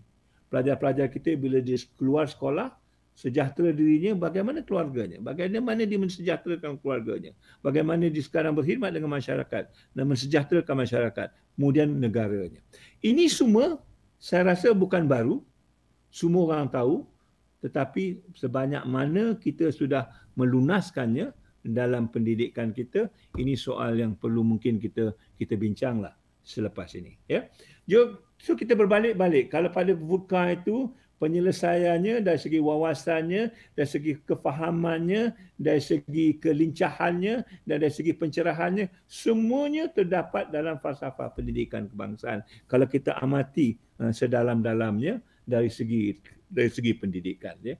So kalau saya nak rumuskan kita lihat beginilah ya. Falsafah itu kita boleh dapat daripada satu tertib ke satu tertib. Susunannya cukup cantik. Kita pendidikan kita mesti berterusan dulu. Mesti menyeluruh, mesti bersepadu. Atas kesepaduan itu baru kita dapat wujudkan manusia seimbang. Seimbangnya atas apa? Intelek, emosi, jasmani. Mengapa? Kerana kita berdasarkan kepada kepercayaan dan kepatuhan kepada Tuhan, menjadikan kita rakyat yang mempunyai nilai-nilai yang positif sehingga kan kita sejahtera diri kita. Bila dah sejahtera diri kita, baru kita boleh menyumbang kepada keluarga, masyarakat dan negara. Kan cantik ni. Ya, kan cantik. Cukup teliti. 30 tahun umurnya tapi saya rasa dia masih relevan dalam dunia yang ada sekarang ini malah dalam dunia yang akan datang. Tetapi kita perlu amati dan amal. Kalau tidak, ini akan tidak ada nilai bagi kita. Soalnya bagi kita sekarang ini, di mana kita nak bermula? Sekarang ni dunia sudah buka dan ini penyelesaiannya, ini sepatutnya bagi saya kunci. Pertama, kita nak membuka dunia baru, lembaran baru melalui pendidikan yang mungkin normal diperbarui. Ini bukan baru bagi kita. Tapi baru kita perbarui balik kerana kita sudah cicirkan dia selama 30 tahun ataupun 32 tahun. Ya. Dari grafiknya beginilah. Ya. Kita boleh bawa dia ke tengah di dalam dunia abad ke-21. Kalau saya, mungkin saya tidak ada masa, kalau saya boleh bandingkan uh, ini dengan satu lagi konsep uh, UNESCO, The Four Pillars of Learning, kita dapati kemiripan yang cukup rapat.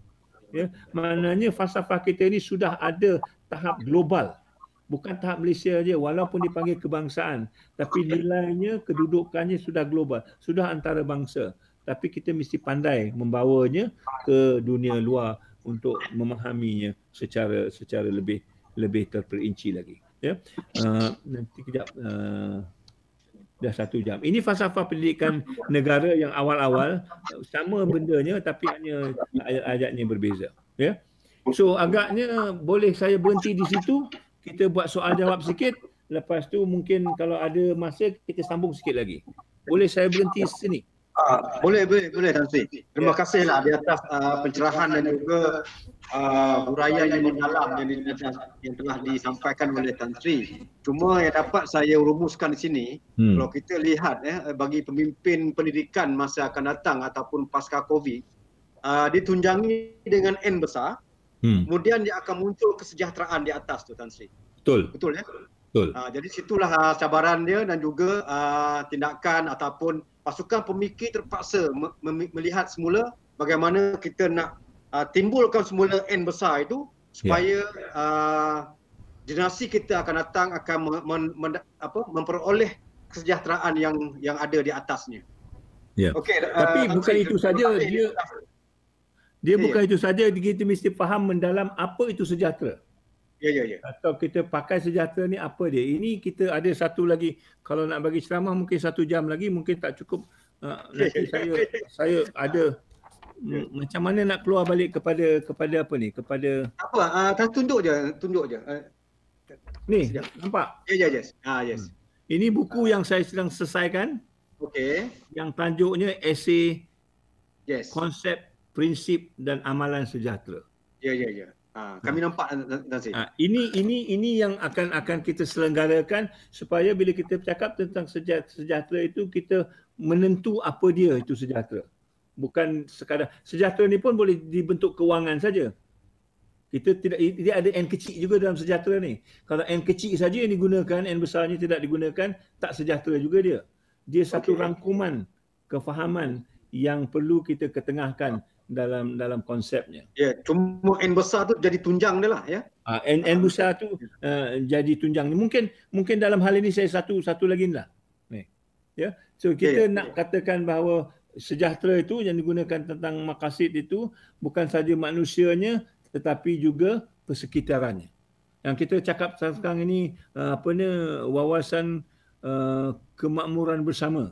Uh, ini sudah memiripi kepada sejahtera tapi ada perkara-perkara lain alam sekitar kita kena bincang juga ya uh, tentang uh, kedudukan sosial ni mesti bincang pula balik-balik pada soal uh, apa ni uh, apa tu akses ataupun uh, equity yang ada daripada masyarakat-masyarakat kita soal-soal begini uh, adalah penting bagi bagi kita kesudahannya ya So ada apa-apa yang nak di, diperjelaskan, ada apa-apa yang tak setuju pun tak apa. Kata Tan Sri ni tak setuju ni. Ini cerita dongeng ni. Uh, saya akan rela dengar. Uh, bagi tak kita apa, kita ini uh, satu diskusi ilmiah Tan Sri. Uh. Uh, IAB dah biasa dengan ni. uh, kita kita akan apa uh, ambil pandangan transi tersebut dan kita akan timbangkan mengikut acuan kita sendirilah. Ya, Cuma betul. uh, sebelum kita masuk kepada soal jawab Tan Sri, Hmm. uh, sekali lagi saya apa uh, ingin memaklumkan kepada uh, kita punya apa ni uh, penyertaan dalam uh, YouTube kita telah mencecah 3000 orang dan Alhamdulillah. uh, kami memohon maaf kepada uh, pengarah-pengarah bahagian. Pada awal tadi ada ada apa ada uh, WhatsApp yang sampai kepada kami mengatakan mereka ada masalah teknikal. Contoh dia uh, suara tak tak apa tak keluar dan sebagainya perlahan dan sebagainya. Lah ya jadi kita mohon maaf.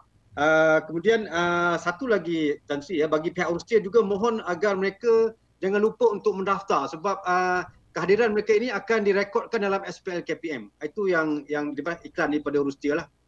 Okey, uh, di sini di, di, saya dah ambil daripada uh, YouTube dia ada ada empat uh, ada lima soalan di sini Tan Sri. Boleh saya mulakan? Okey, soalan yang pertama ni dia kata uh, daripada Puan Hamidah SK Datuk Hashim. Ya, Okey. uh, apakah ciri-ciri utama dia kata atau kompetensi yang kritikal untuk dikuasai oleh seorang pemimpin pendidikan untuk memimpin organisasinya dalam dunia buka dia tanya. Tindakan Itu- lihat kompetensi tadi. Macam itu- mana atau mungkin tadi uh, tensi lebih kepada N tadi uh, mungkin Ha. di situ ada boleh munculkan kompetensi pemimpin pemimpin pendidikan tadi dalam Hmm. dia memimpin dia punya organisasi. Boleh bila boleh kita simpan soalan tu pasal itu dalam slide saya yang nombor tiga lepas ni. Okey okey. Ah ada kan. Okey, Hmm. yang kedua, Hmm. ini ini daripada IB sini ni, eh Datuk Akrim eh daripada IB, ada Okey. tak formula yang ada yang boleh uh, Tan Sri kongsikan untuk kami aplikasi dalam menghadapi perubahan dunia buka? Nakkan Itu pun, formula. itu pun dalam slide nombor tiga ni. Okey, okey. Okey, Tan Sri. Ha, sebab sekarang ni uh, kami dan juga pemimpin sekolah, eh, boleh saya saya rumuskanlah. Kami Ya. ni tertanya-tanya, uh, apa tindakan yang kita nak buat? What's next? Ya. Ah kemudian sebab contoh dia kalau kita berpegang pada teori tetapi Hmm. kita tak praktik benda itu maka teori itu tidak akan landing betul dah Tan Sri betul eh? Betul. betul. Ah betul. Tapi Ah soalan yang keempat nanti so- soalan nombor tiga tu tadi. Saya rasa Okey. yang yang menyusahkan kita kerana kita terpaksa menukar sistem. okey Dalam sistem macam lah kita sekarang ni main bola sepak. okey Dalam bola sepak itu uh, kita boleh buat macam-macam. Sekarang ini sa- su- sa- sudah ada satu undang-undang mengatakan mesti ada jarakan uh, fizikal. Bolehkah kita main bola sepak bila ada jarakan fizikal? Ataupun permainan itu mungkin lain bentuknya. ya ya ya. Jadi maknanya kalau kita tidak mengambil masalahnya kalau kita masalah yang ada kita tidak menukar sistemnya dan kita hanya cuba memperbaiki saja dalam kerangka yang ada dia tidak akan menyelesaikan masalah. Jadi masalah jawapan saya yang pertama kita mesti lihat balik sistemnya. Bila dikatakan norma baru itu, norma baru itu menyangkut juga kepada sistemnya. Sekarang ini misalnya lah kalau dikatakan uh, face to face ataupun bersemuka ini tidak boleh dilakukan kerana takut viral uh, COVID ini. Apa Ya, ya. jadi pada sekolah? Ya, sedangkan banyak benda-benda yang kita nak belajar mesti ditunjuk aja, nama pun ditunjuk aja. Jadi soal-soal ini adalah soal-soal penting. Jangan kita mengatakan ini boleh diselesaikan dalam kerangka yang lama. Nilai baru dalam kerangka lama tidak akan menyelesaikan masalah. Nilai baru mesti dalam kerangka baru. Ha, kerangka ini yang menjadi perkara yang paling rumit untuk kita Ya, ya. bicarakan. Ha, ini terpulang kepada IAB lah. Okey Tan Sri. Ah, kami akan cuba lihat dan atasi masalah itu. Ah, kemudian ah, sebelum itu juga Tan Sri, ah, Ya. kami juga ni ada betul talu pertanyaan ni. Sila. Kami juga ah, menyediakan satu rakaman eh bagi yang tidak berpeluang eh Ya. ataupun menghadapi masalah, kami akan uh, ulang balik ada rakaman dan kami akan uh, paparkan di portal IEB nanti Sila. dalam dalam e-sidang ya bagi uh, rakan-rakan ataupun warga-warga pendidik yang uh, tidak berpeluang untuk bersama pada awal tadi. Okey, uh, soalan yang ketiga ni daripada Puan Amuta, SK Section 7 Bangi. Hmm. Dia, ah, dia, dia, ber- dia, me- dia bertanyakan tentang komuniti. eh. Bagaimana komuniti dapat membantu pihak sekolah dalam menghadapi perubahan dunia buka? Tan Sri. Saya soal komuniti ini dia dua dia dua ada dua ada dua cerita. Sama ada komuniti itu uh, celik ataupun komuniti itu tak celik. Ya. Komuniti celik mungkin boleh membantu sekolah, tapi kalau komuniti itu tak celik, dia tidak boleh membantu sekolah, malah sekolah perlu membantunya. Jadi tengok keadaan. Celik yang saya maksudkan tadi, ramai adakah orang dalam komuniti yang faham vokal seperti mana yang saya telah uh, terangkan tadi? Ya. Dan saya terangkan tadi dalam bentuk pendidikan. Berapa ramai dalam komuniti yang mempunyai kefahaman pendidikan yang boleh menjadikan dia sebagai satu inspirasi kepada uh, kepada perubahan. Saya ambil contoh semudah saja. Kebanyakan daripada komuniti ataupun anak ibu bapa yang mengantar anak ke sekolah tanya dia apa tujuannya tujuannya saya anak saya nak anak saya ni uh, pas supaya hidup dia mewah dan senang. Yeah. Yeah. Dia cakap tentang N kecil je. Dia yeah. tak cakap tentang N besar. Yeah. Yeah. Dulu kalau hantar anak ke sekolah, tolong didik anak saya ni supaya dia jadi manusia. N besar. Ya, yeah, ya, yeah, ya. Yeah. Ya. Jadi kalau komuniti yang nak menasihatkan kita atas lunas-lunas N kecil saja, mungkin dapat tetapi tidak ada penyelesaian. Selagi N besar itu tidak dibawa masuk. Jadi kita ada juga cabaran ni Tan Sri ya. Sebab kita ingin mendidik uh, generasi pendidikan yang masih lagi dalam apa tu? dalam uh, lompang uh, ataupun uh, jarak umur dalam pendidikan yeah. dan juga komuniti yang telah melepasi uh, zaman pendidikan tu. So kita ada cabaran juga itu. Ya. Yeah. Ini ini ini biar biasa biasa jelaskan ya. Falsafah pendidikan kebangsaan sekarang sudah diambil alih oleh satu teori. Teorinya apa? Teori modal insan. The human capital theory. Istilah modal insan ini bukan istilah yang hanya diguna seronok-seronok saja. It is based on a deep-seated neoliberal theory of the 1960s mereka sudah merangkakan bahawa untuk mengambil alih mereka perlu mengambil alih dari segi pendidikan dulu. Jadi teori ini dimasukkan ke dalam pendidikan sebagai salah satu daripada teori yang dikatakan human capital. So kita membentuk pelajar-pelajar kita untuk the human capital, untuk modal insan, bukan untuk insan. Ini dia yang pertama sekali yang perlu kita disedari. Kerana jalan ataupun aliran pendidikan kita sudah tidak sama dengan apa yang dibawa oleh falsafah pendidikan kebangsaan. Sebab itu saya mengatakan tadi soal sistem.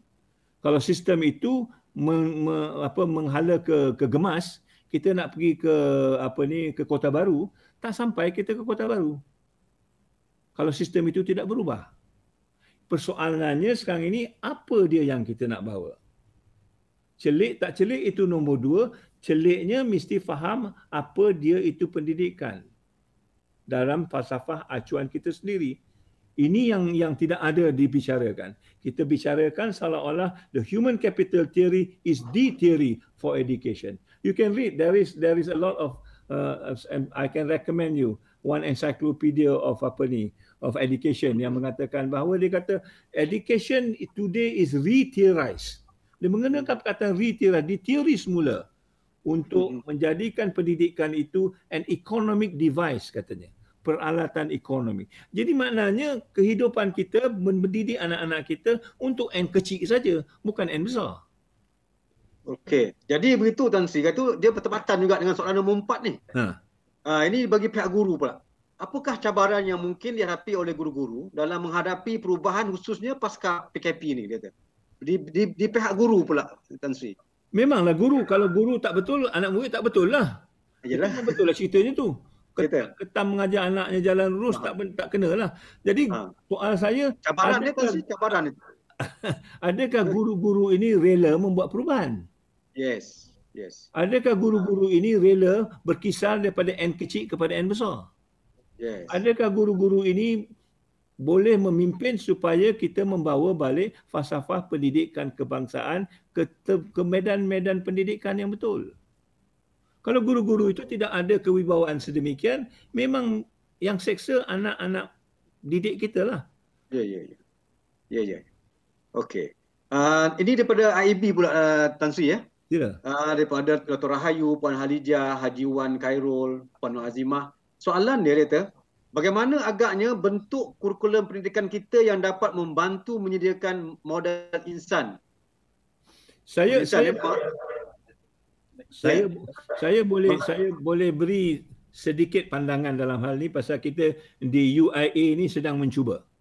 Ya. Okey. Di Universiti Islam Antarabangsa kita sedang mencuba untuk memperbetulkan balik pendidikan di peringkat uh, pengajian tinggi lah sekurang-kurangnya. Ah. Kerana asas UIA ni agak berbeza dengan Okey, Tan Sri, ada, ada sikit lagi tambahan ni. Ah, Dia kata adalah untuk apa ni untuk future proof kata. Daripada tadi soalan dia ialah bagaimana kita nak menyediakan modal insan dalam dunia buka, kemudian untuk future proof.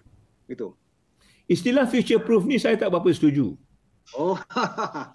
Okey, tak apalah. Nanti yang menyoal dia, dia akan dengar Tan Sri, tak apa. Nanti kita, kita ulas uh, istilah future proof ni kemudian.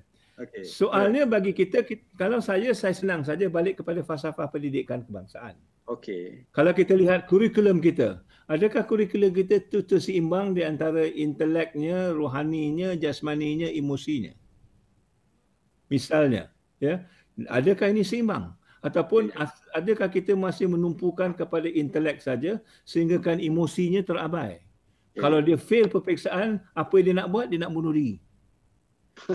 dia tidak pandai mengimbangi emosinya sama sekali. Ya. Mengapa dia mengapa dia nak mengapa dia nak belajar 24 jam sempat supaya diabaikan sembahyang dia?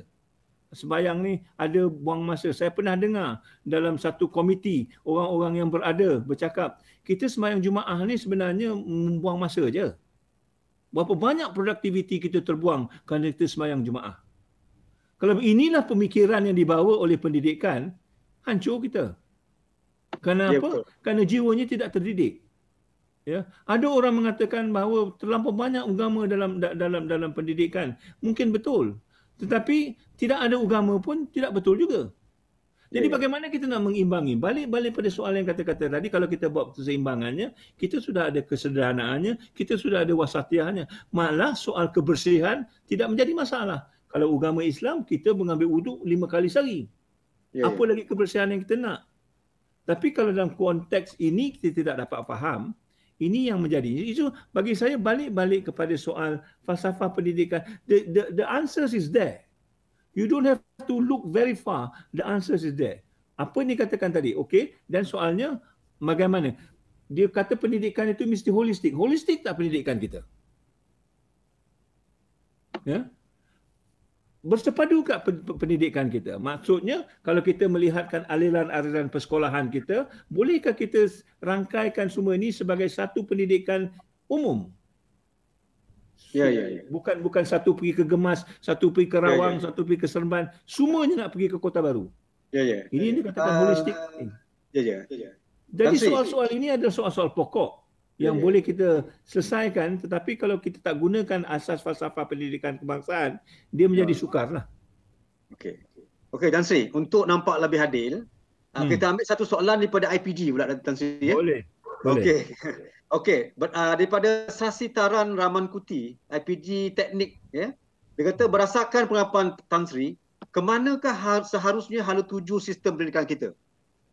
Dia, dia, dia tujukan pada Tan Sri lah. Bagaimana? dia? Okey, saya boleh saya boleh rumuskan kalau kita lihat apa yang berlaku di dunia barat. Ha. Pendidikan kita ala dunia barat. Yes. Sekarang ini kalau kita ambil di Amerika Syarikat sajalah. Universitinya tutup. Pelajar-pelajar ni tidak mahu lagi datang ke sekolah atau ke universiti. Kerana apa? Kerana mereka mengatakan bahawa apa yang dia belajar di universiti tidak akan dapat membantu mereka dalam menyelesaikan masalah COVID. Yang sebab itu saya tak kata yang saya katakan saya tak setuju dengan future proof tadi. Oh, okey. Kalau betul-betul future proof, kita dah boleh selesaikan masalah COVID ni. Okey. Maknanya future proof ni kita tak boleh ramal. Future proof ini adalah istilah-istilah yang digunakan oleh orang bisnes. Future proof ni apa? Bisnes dia yang diproofkannya. Dia nakkan manusia macam mana untuk menyelaraskan atau melariskan perniagaannya atas bisnesnya. Itu future dia. Future dia tak sama dengan future kita. Future kita lain. Jadi kalau kita menggunakan istilah-istilah, ini yang saya balik-balik lah. Kita menggunakan istilah-istilah ini tanpa kita memahami istilah ini. Orang kata future proof, kita pun kata future proof. Tapi future proof dia menguntungkan dia, kita menggunakan future proof dia merugikan kita. Kita menggunakan 4IR. Ya. Orang Jerman, orang Jerman menggunakan 4IR, saya tanya mereka, apa pentingnya 4IR ni? Dia kata 4IR ni bila guna otomasi, kesudahannya orang Jerman hanya bekerja dua kali, dua hari seminggu saja. Yang bakinya akan dikerjakan oleh komputer. Di 4IR di Malaysia, kita menjadi hamba mesin ini kita bekerja tujuh kali sehari menjaga mesin ini. Bukan yeah, yeah. seperti orang Jerman. So nilai yang dibawa oleh mereka dengan nilai yang dibawa oleh kita oleh kerana kefahamannya tidak sama, hmm. tidak mendapat hasil yang sama. Yeah. Ini ya, yeah, ini saya kata ini tugas pendidik. Sebelum kita mengambil idea orang lain, kita mesti mendalaminya, faham oh ini idea ni boleh pakai, kita pakai. Kalau kita tak boleh pakai, tolak sebelah. Kalau kita boleh ubah, kita ubah dalam acuan kita. Tapi ini tidak berlaku. Okey.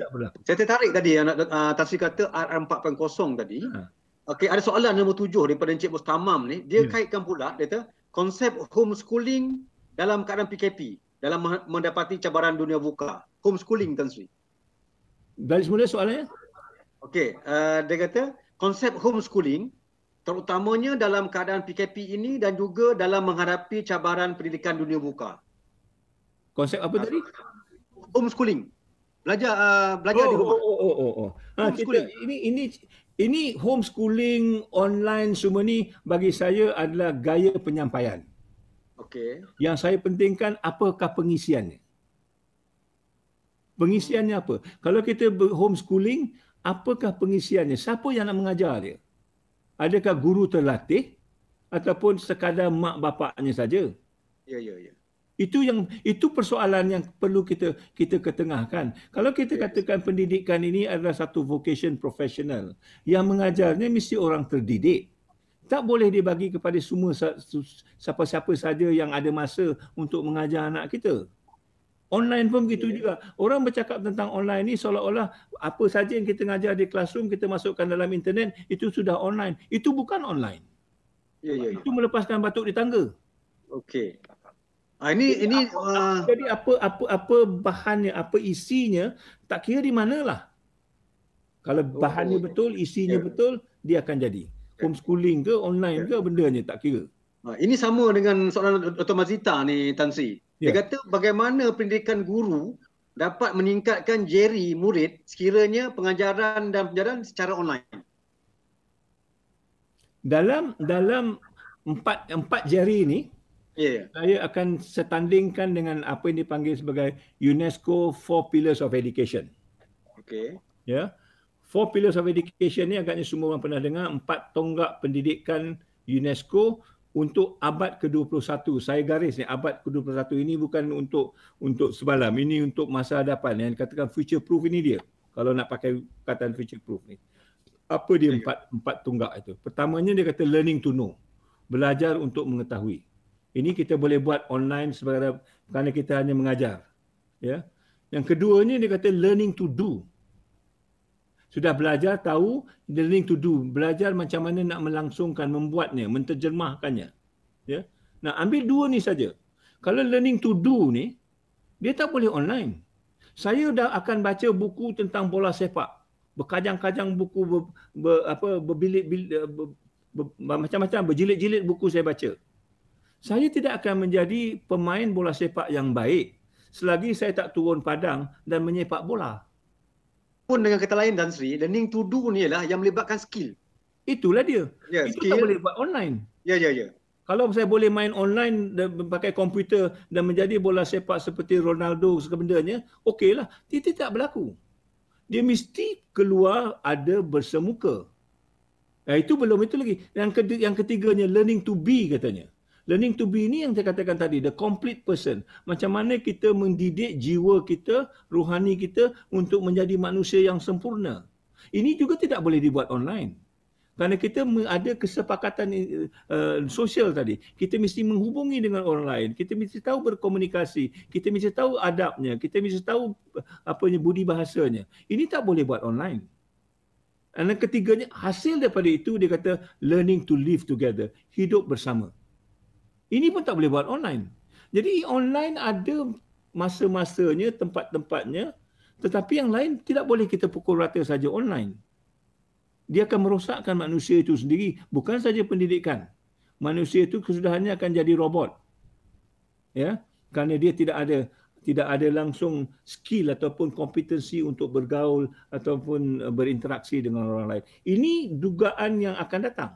Anak-anak kita sekarang ini tidak pandai bergaul dengan orang lain. Tengok sajalah kalau pergi kenduri kahwin. Dia tak pandai bergaul. Dia asyik dengan dengan komputernya saja. Ha, ini dia yang perlu kita awasi. Ini kerja pendidik.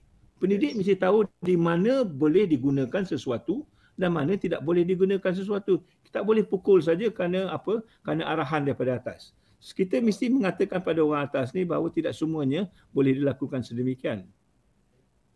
Okey, Tan Sri. Okay, Tan Sri. Saya rasa ya. ini soalan yang terakhir Tan Sri ya. Ya. Okey, uh, daripada Encik Asfak ni IB, uh, dia, dia bertanyakan tentang apa perangan Tansi tentang konsep pengurusan kalbu yang boleh menjadi asas dalam menangani ancaman dunia vokal? Dunia apa vokal. dia tadi? Uh, pengurus, pengurusan kalbu. Oh. Ya, ya. Kalau kita tengok tentang 4H tadi tu, salah ya. satu daripadanya hat tu kalbu lah tu. Okey. Ya. Kita menggunakan misalnya kefahaman uh, kefahaman Al-Ghazali. Al-Ghazali mengatakan didik kalbu tu dulu baru kita dapat manusianya. Hmm. Ha, ini soal yang yang yang paling penting dalam sekolah di mana di sekolah ataupun di universiti kita mendidik kalbu ni. Ya, kerana kalbu ini mengikut mengikut uh, Al-Ghazali adalah tempat yang kesudahannya memberi hidup kita keseimbangan yang tepat. Okey. Sekarang ini kita mendidik minda tetapi kalbu kita tidak didik jadi ketidakseimbangan itu berlaku. Uh, ini adalah salah satu daripada kunci yang kita bercakap tentang uh, tentang apa ni uh, pendidikan besar masa depan ya yeah. mengatasi mengatasi uh, uh, COVID uh, apa ni virus 19 ini ya yeah. saya ada lagi tiga slide kalau boleh saya habiskan dan kita boleh simpulkan uh, boleh uh, boleh boleh Tan uh, kita akan berhenti pukul 5 so Tan ada dalam lebih kurang dalam 25 ke apa boleh Tan Okey okey. Ini okay, saya silakan. Ya, no, tidak, silakan. Tak, tak, tak, tidur saya malam ni. Ya, silakan. Okay. ha, ini dia. Ha, ini ini jalan pula dia punya inovasinya. Okey, ini yang empat ni. Ya, kita katakan tadi intelek, ima, im, emosi, rohani dan jasmani. Ya. Manusia seimbang. Ini yang kita pupuk. Ini yang perlu kita pupuk. Ini balik pada soalan penghabisan tadi tu. Di mana di sini kita pupuk? Ini yang dikatakan kepercayaan dan kepatuhan kepada Tuhan tadi. Bukan setakat minda saja. Sebab tu di UAA ini kita ada satu kefahaman di mana kita mencantumkan ilmu wahyu dengan ilmu manusia. Ya, yeah? the reveal knowledge and the reason knowledge. Ini satu makmal yang cukup baik di UAA ini. Saya bukan nak mempromosi UAA ini tapi inilah eksperimen yang kita laku, yang kita lakukan dan insya-Allah akan boleh kita uh, salurkan kepada uh, mungkin sistem-sistem pendidikan yang lain, ya. Dan manusia itu adalah manusia yang seimbang. Ya. Uh, seimbang daripada pemikirannya, daripada nalurinya, daripada nafnya, segala bendanya akan menjadikan manusia itu seimbang berdasarkan kepada makasih asyariah tadi yang membawa dia kepada kesejahteraan yang kesudahannya boleh mensejahterakan masyarakat dalam empat ataupun lima perkara yang saya katakan tadi. Tan Sri, minta maaf yeah. di, di, di pihak kami ni kami cuma, dah masih lagi di slide yang kedua. Oh. Ya, boleh, boleh Tan Sri gerakkan sekejap. Oh, ini agaknya yang yang ini ada. Uh, masih slide dua. Ini? Masih? Masih slide dua ya. Oh, panggil, nanti panggil technician sekejap. Ya, inilah. Ya, ya. Uh, mungkin dia kena apa ni? Uh, represent balik ke? Kena? Represent balik ya. Mana dia? Uh, uh, hold on, hold on. Ya. Sebentar. Uh, keluar balik ke ni?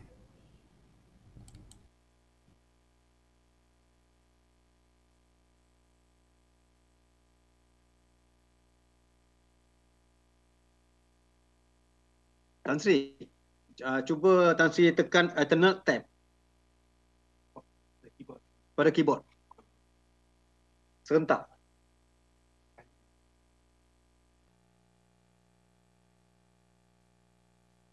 Hello? Hello?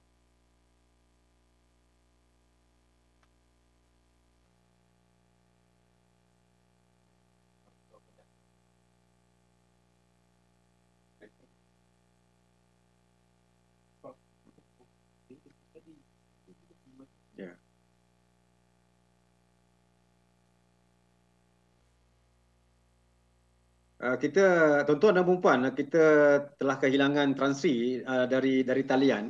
Uh, kita tunggu sekejap untuk kita mungkin Transri akan uh, masuk semula. Ya itu dia. Ya. Yeah. Oh dia left meeting ya. Nanti mungkin Transri akan masuk semula lah.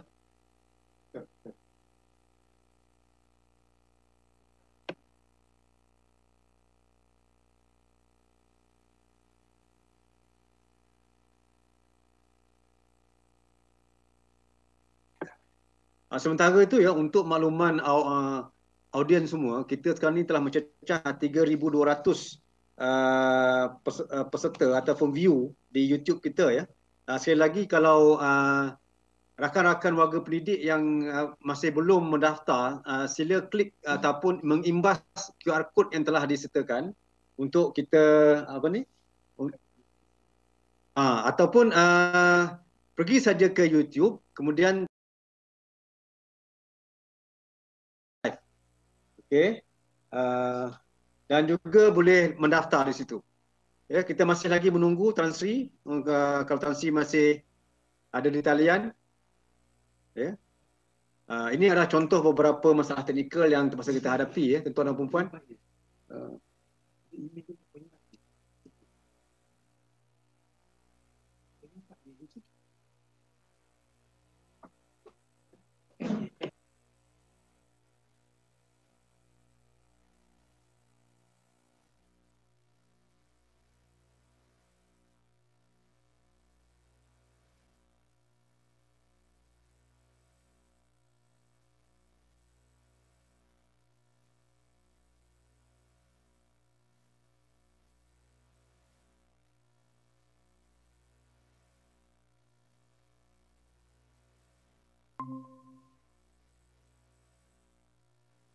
Datang. Hello Tan Sri. Ah ya ya. Dua. Ya ya, tak apa. Uh, kita menghadapi masalah sama macam malam tadi Tan Sri ya. Terputus juga ya dengan Syed Menawar tadi. Ah, ya. Ini dia kata Syah bila kita cakap tentang teknologi online-online ni ah bayangkanlah ya, ya, ya. kalau ha. anak-anak kita dapat ni dah ni slide baru. Ya ya ya. Okey, yang ni kami dapat. Ah okey. Ah ya ya. Okey. Sekarang keluar tak? Ini ini dapat. Dapat ya. Ada titik uh, wucu kemudian pergi ke wuka, betul ya? oh, ya? ini ini uh, betul. Tapi yang ini yang animation ni bukan kot. Yang ni tak ada. Uh, animation tak kami tak nampak. Ha, itu tekanlah. Uh, mungkin sebab masalah animation tadi. Uh, animation ni dia tak jadi. Saya kecewa betul lah. Ya, ya. hmm. Go back. Dia begini Tan Si. Kalau saya lihat tadi, uh, dia masih lagi dalam bentuk eh, eh, bentuk mood edit. Kalau tengok animation uh, animation dia terpaksa dalam bentuk uh, slideshow. Gitu cuba cuba nanti tak try balik semula kalau boleh. Ikut PowerPoint. Ha, ha, itu dia yes. Ikut PowerPoint slideshow rasanya. Ha, ha. Cuba try. No, not this one, dia ada one. Bukan eh? Bukan dia. Dia ada. Nanti dia the second one tu. Ini hmm. slideshow yang yang dia orang tak dapat tengok. Cuba tanya Dr. Syam. Nanti use the other one. Hmm. Ini kali pertama ya IAB buat ni? Ya, yeah, uh, apa ni kali pertama uh, hari profesional kita buat secara online hmm. yang uh, kita menjemput VIP dari luar lah. Tan Sri oh. lah. uh, sebelum ni Tan Sri pernah datang sini tapi kita buat bersemuka di, ya, di dalam audit. Saya ni tak bersemuka ni tak berapa tak berapa nak sini. Okeylah ini ini cerita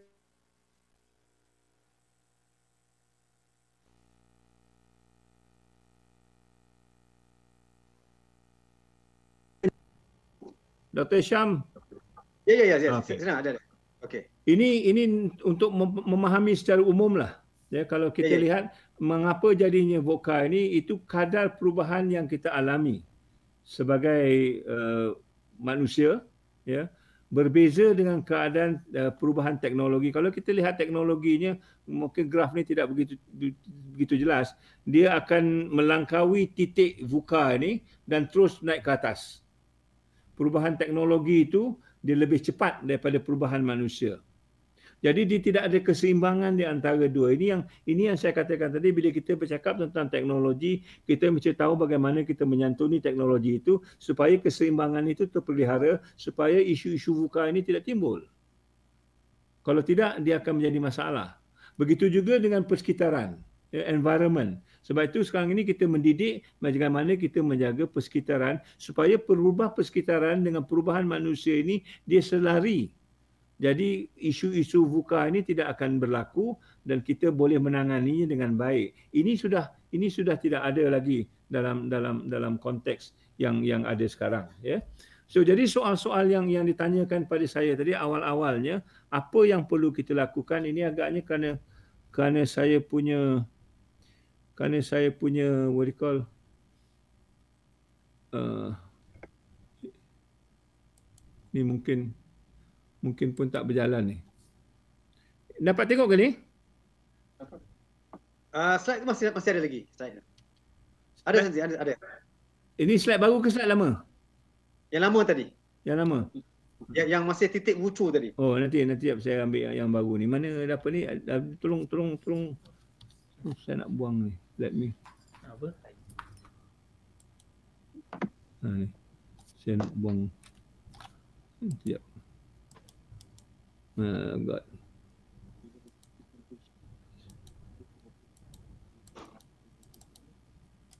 Tak dapat ni.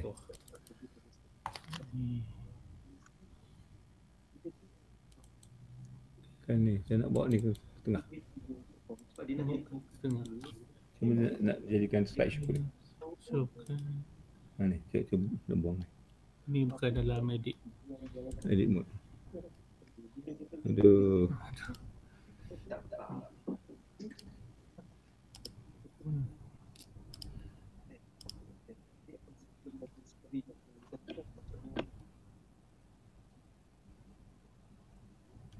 Okay lah, let go back lah. Tadi. Hmm. Tak ada present pula. Ha? Sekejap.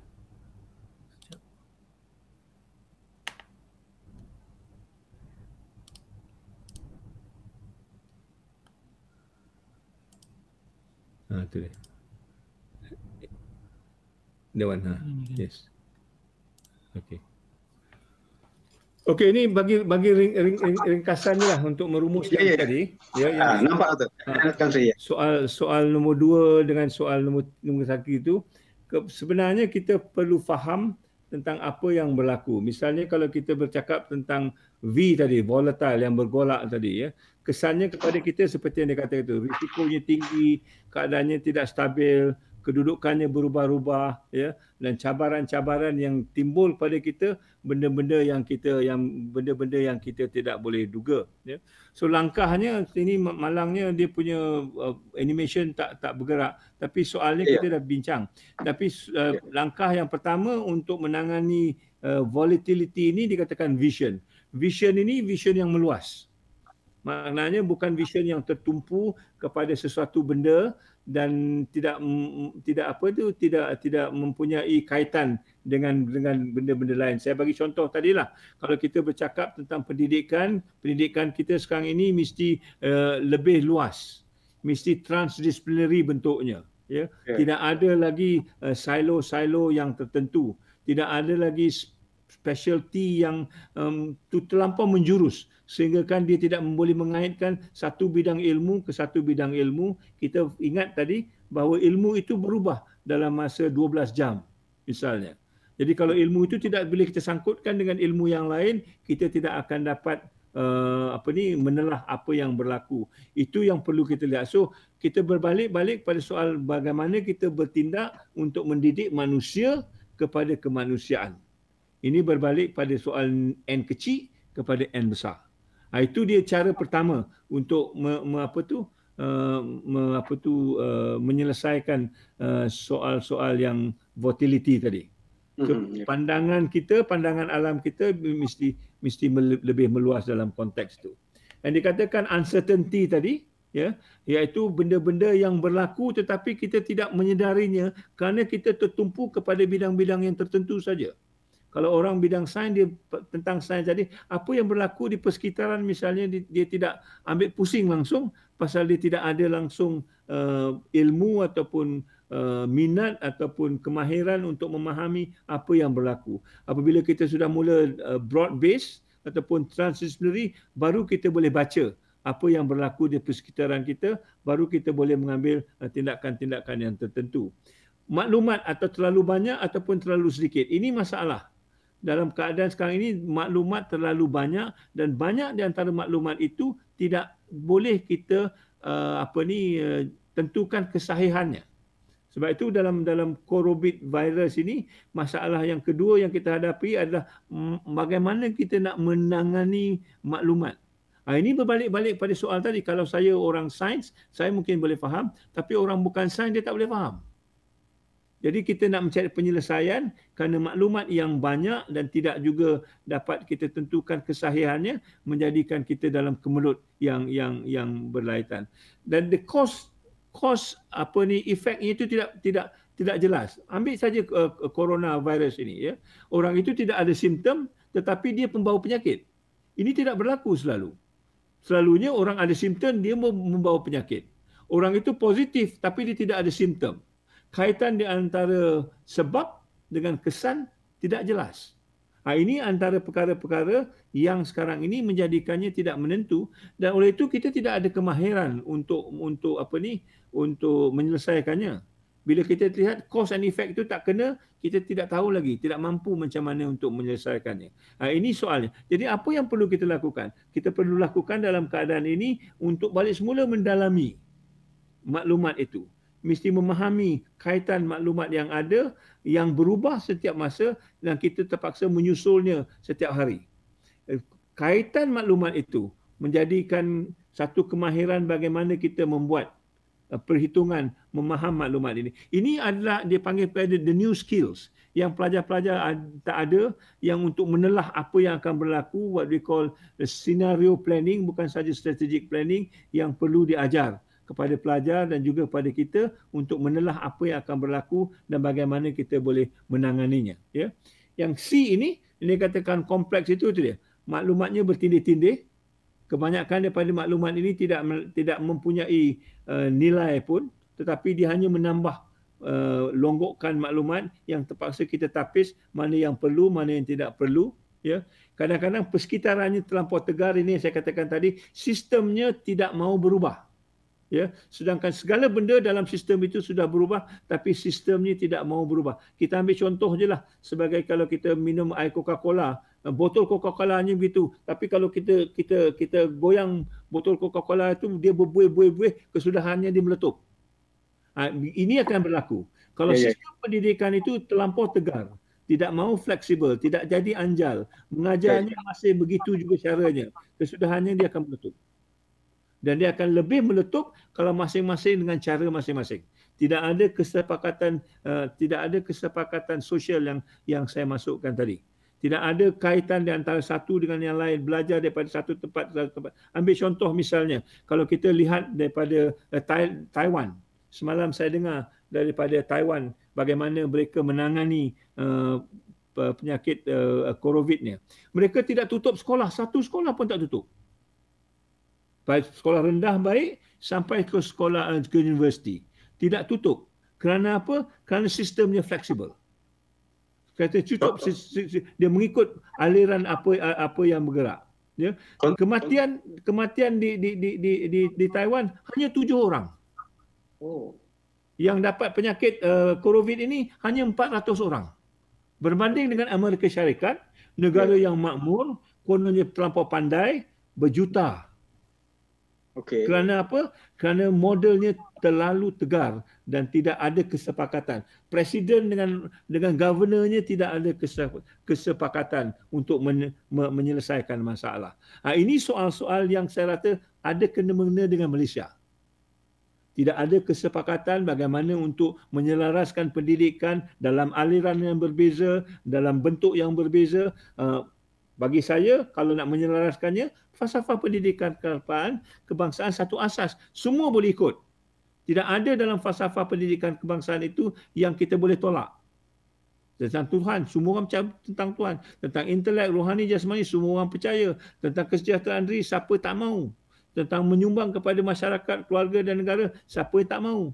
Tapi ini tidak dijadikan asas untuk perbincangan. Dipolitikkan.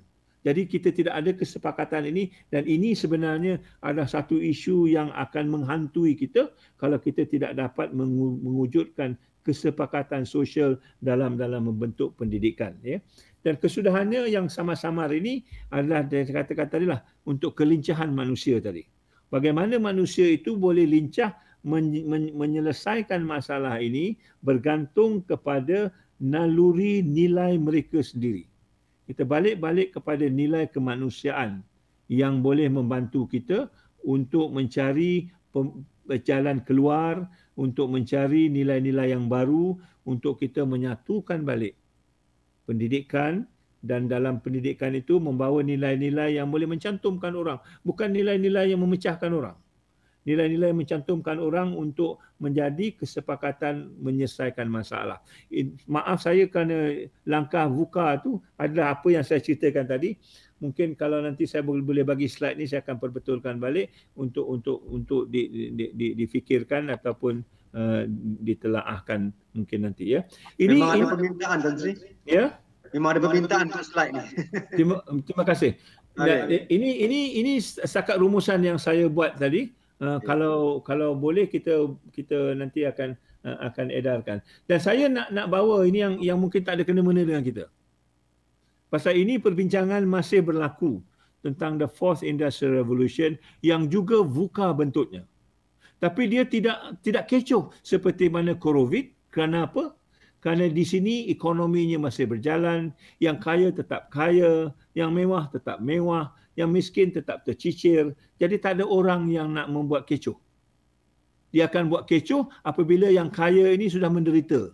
Duitnya dia ada tapi tak boleh belanja.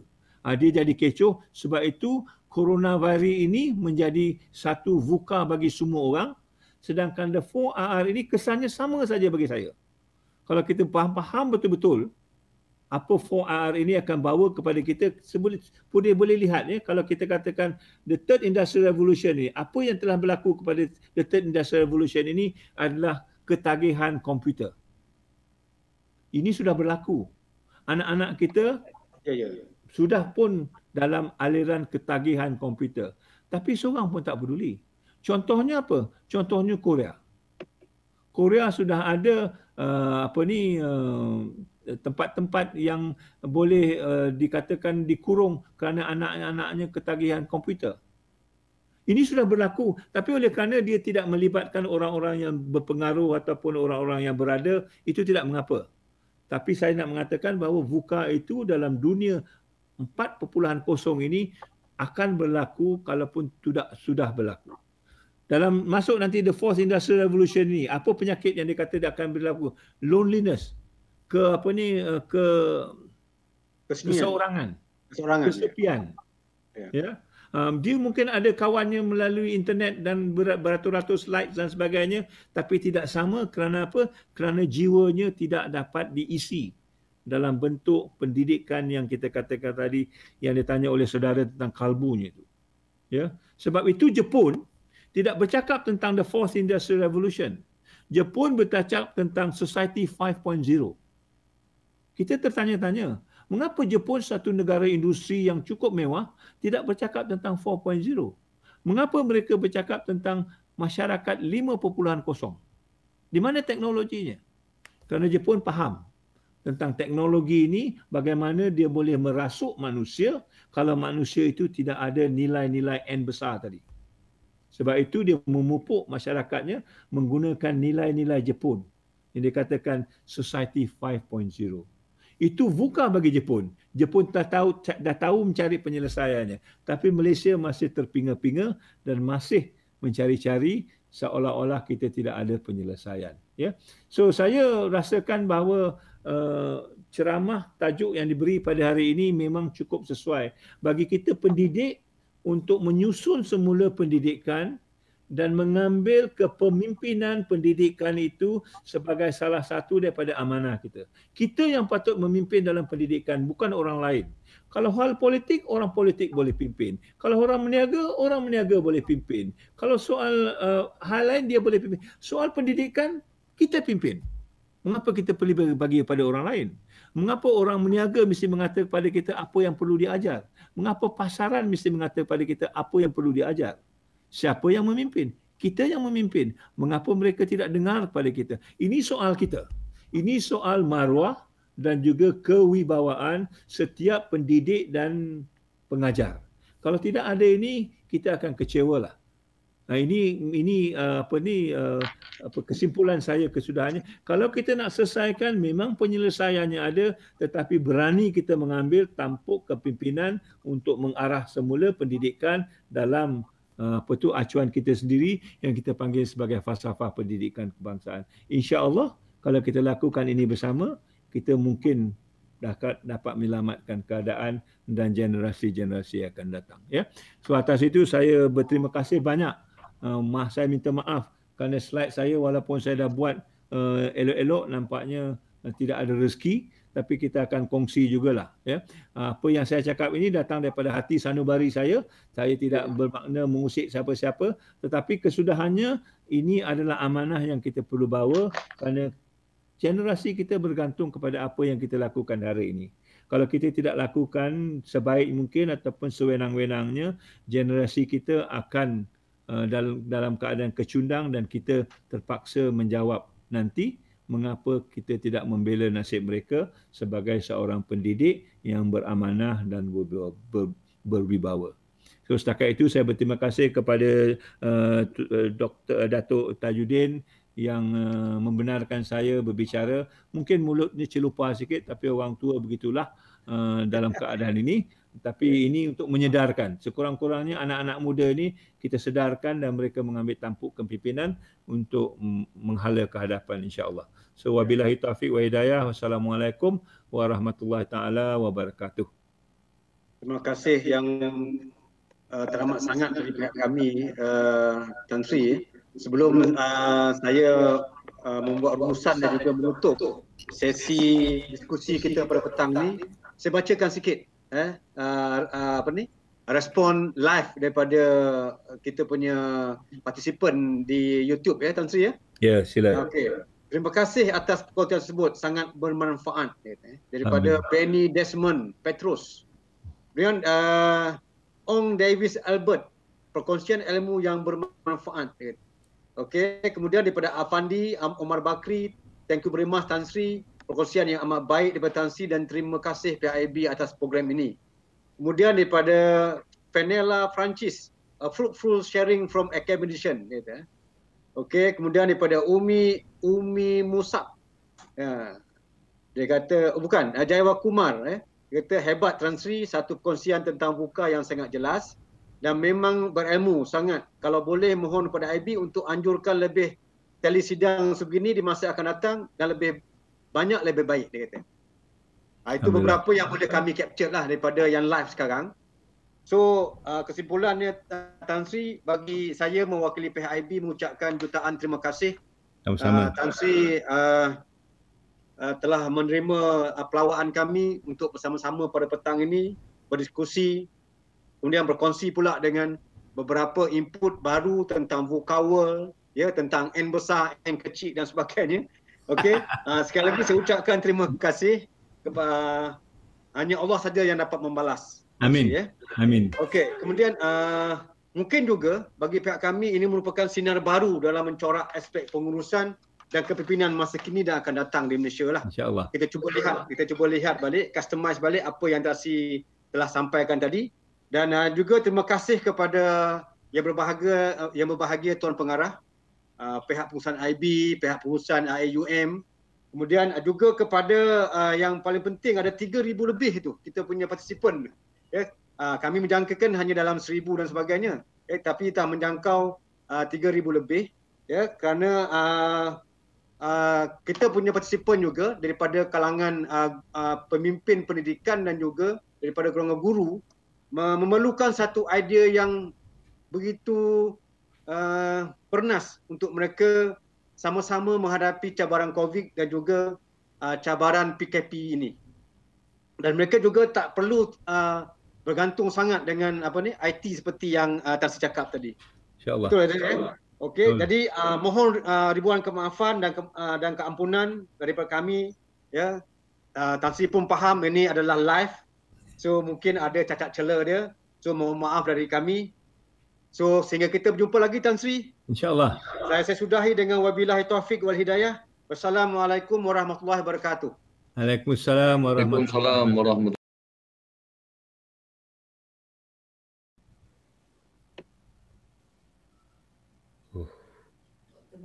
daripada Oman. Dia pendengar. Bazis. Boleh, boleh, boleh tutup ni kot. Daripada Oman.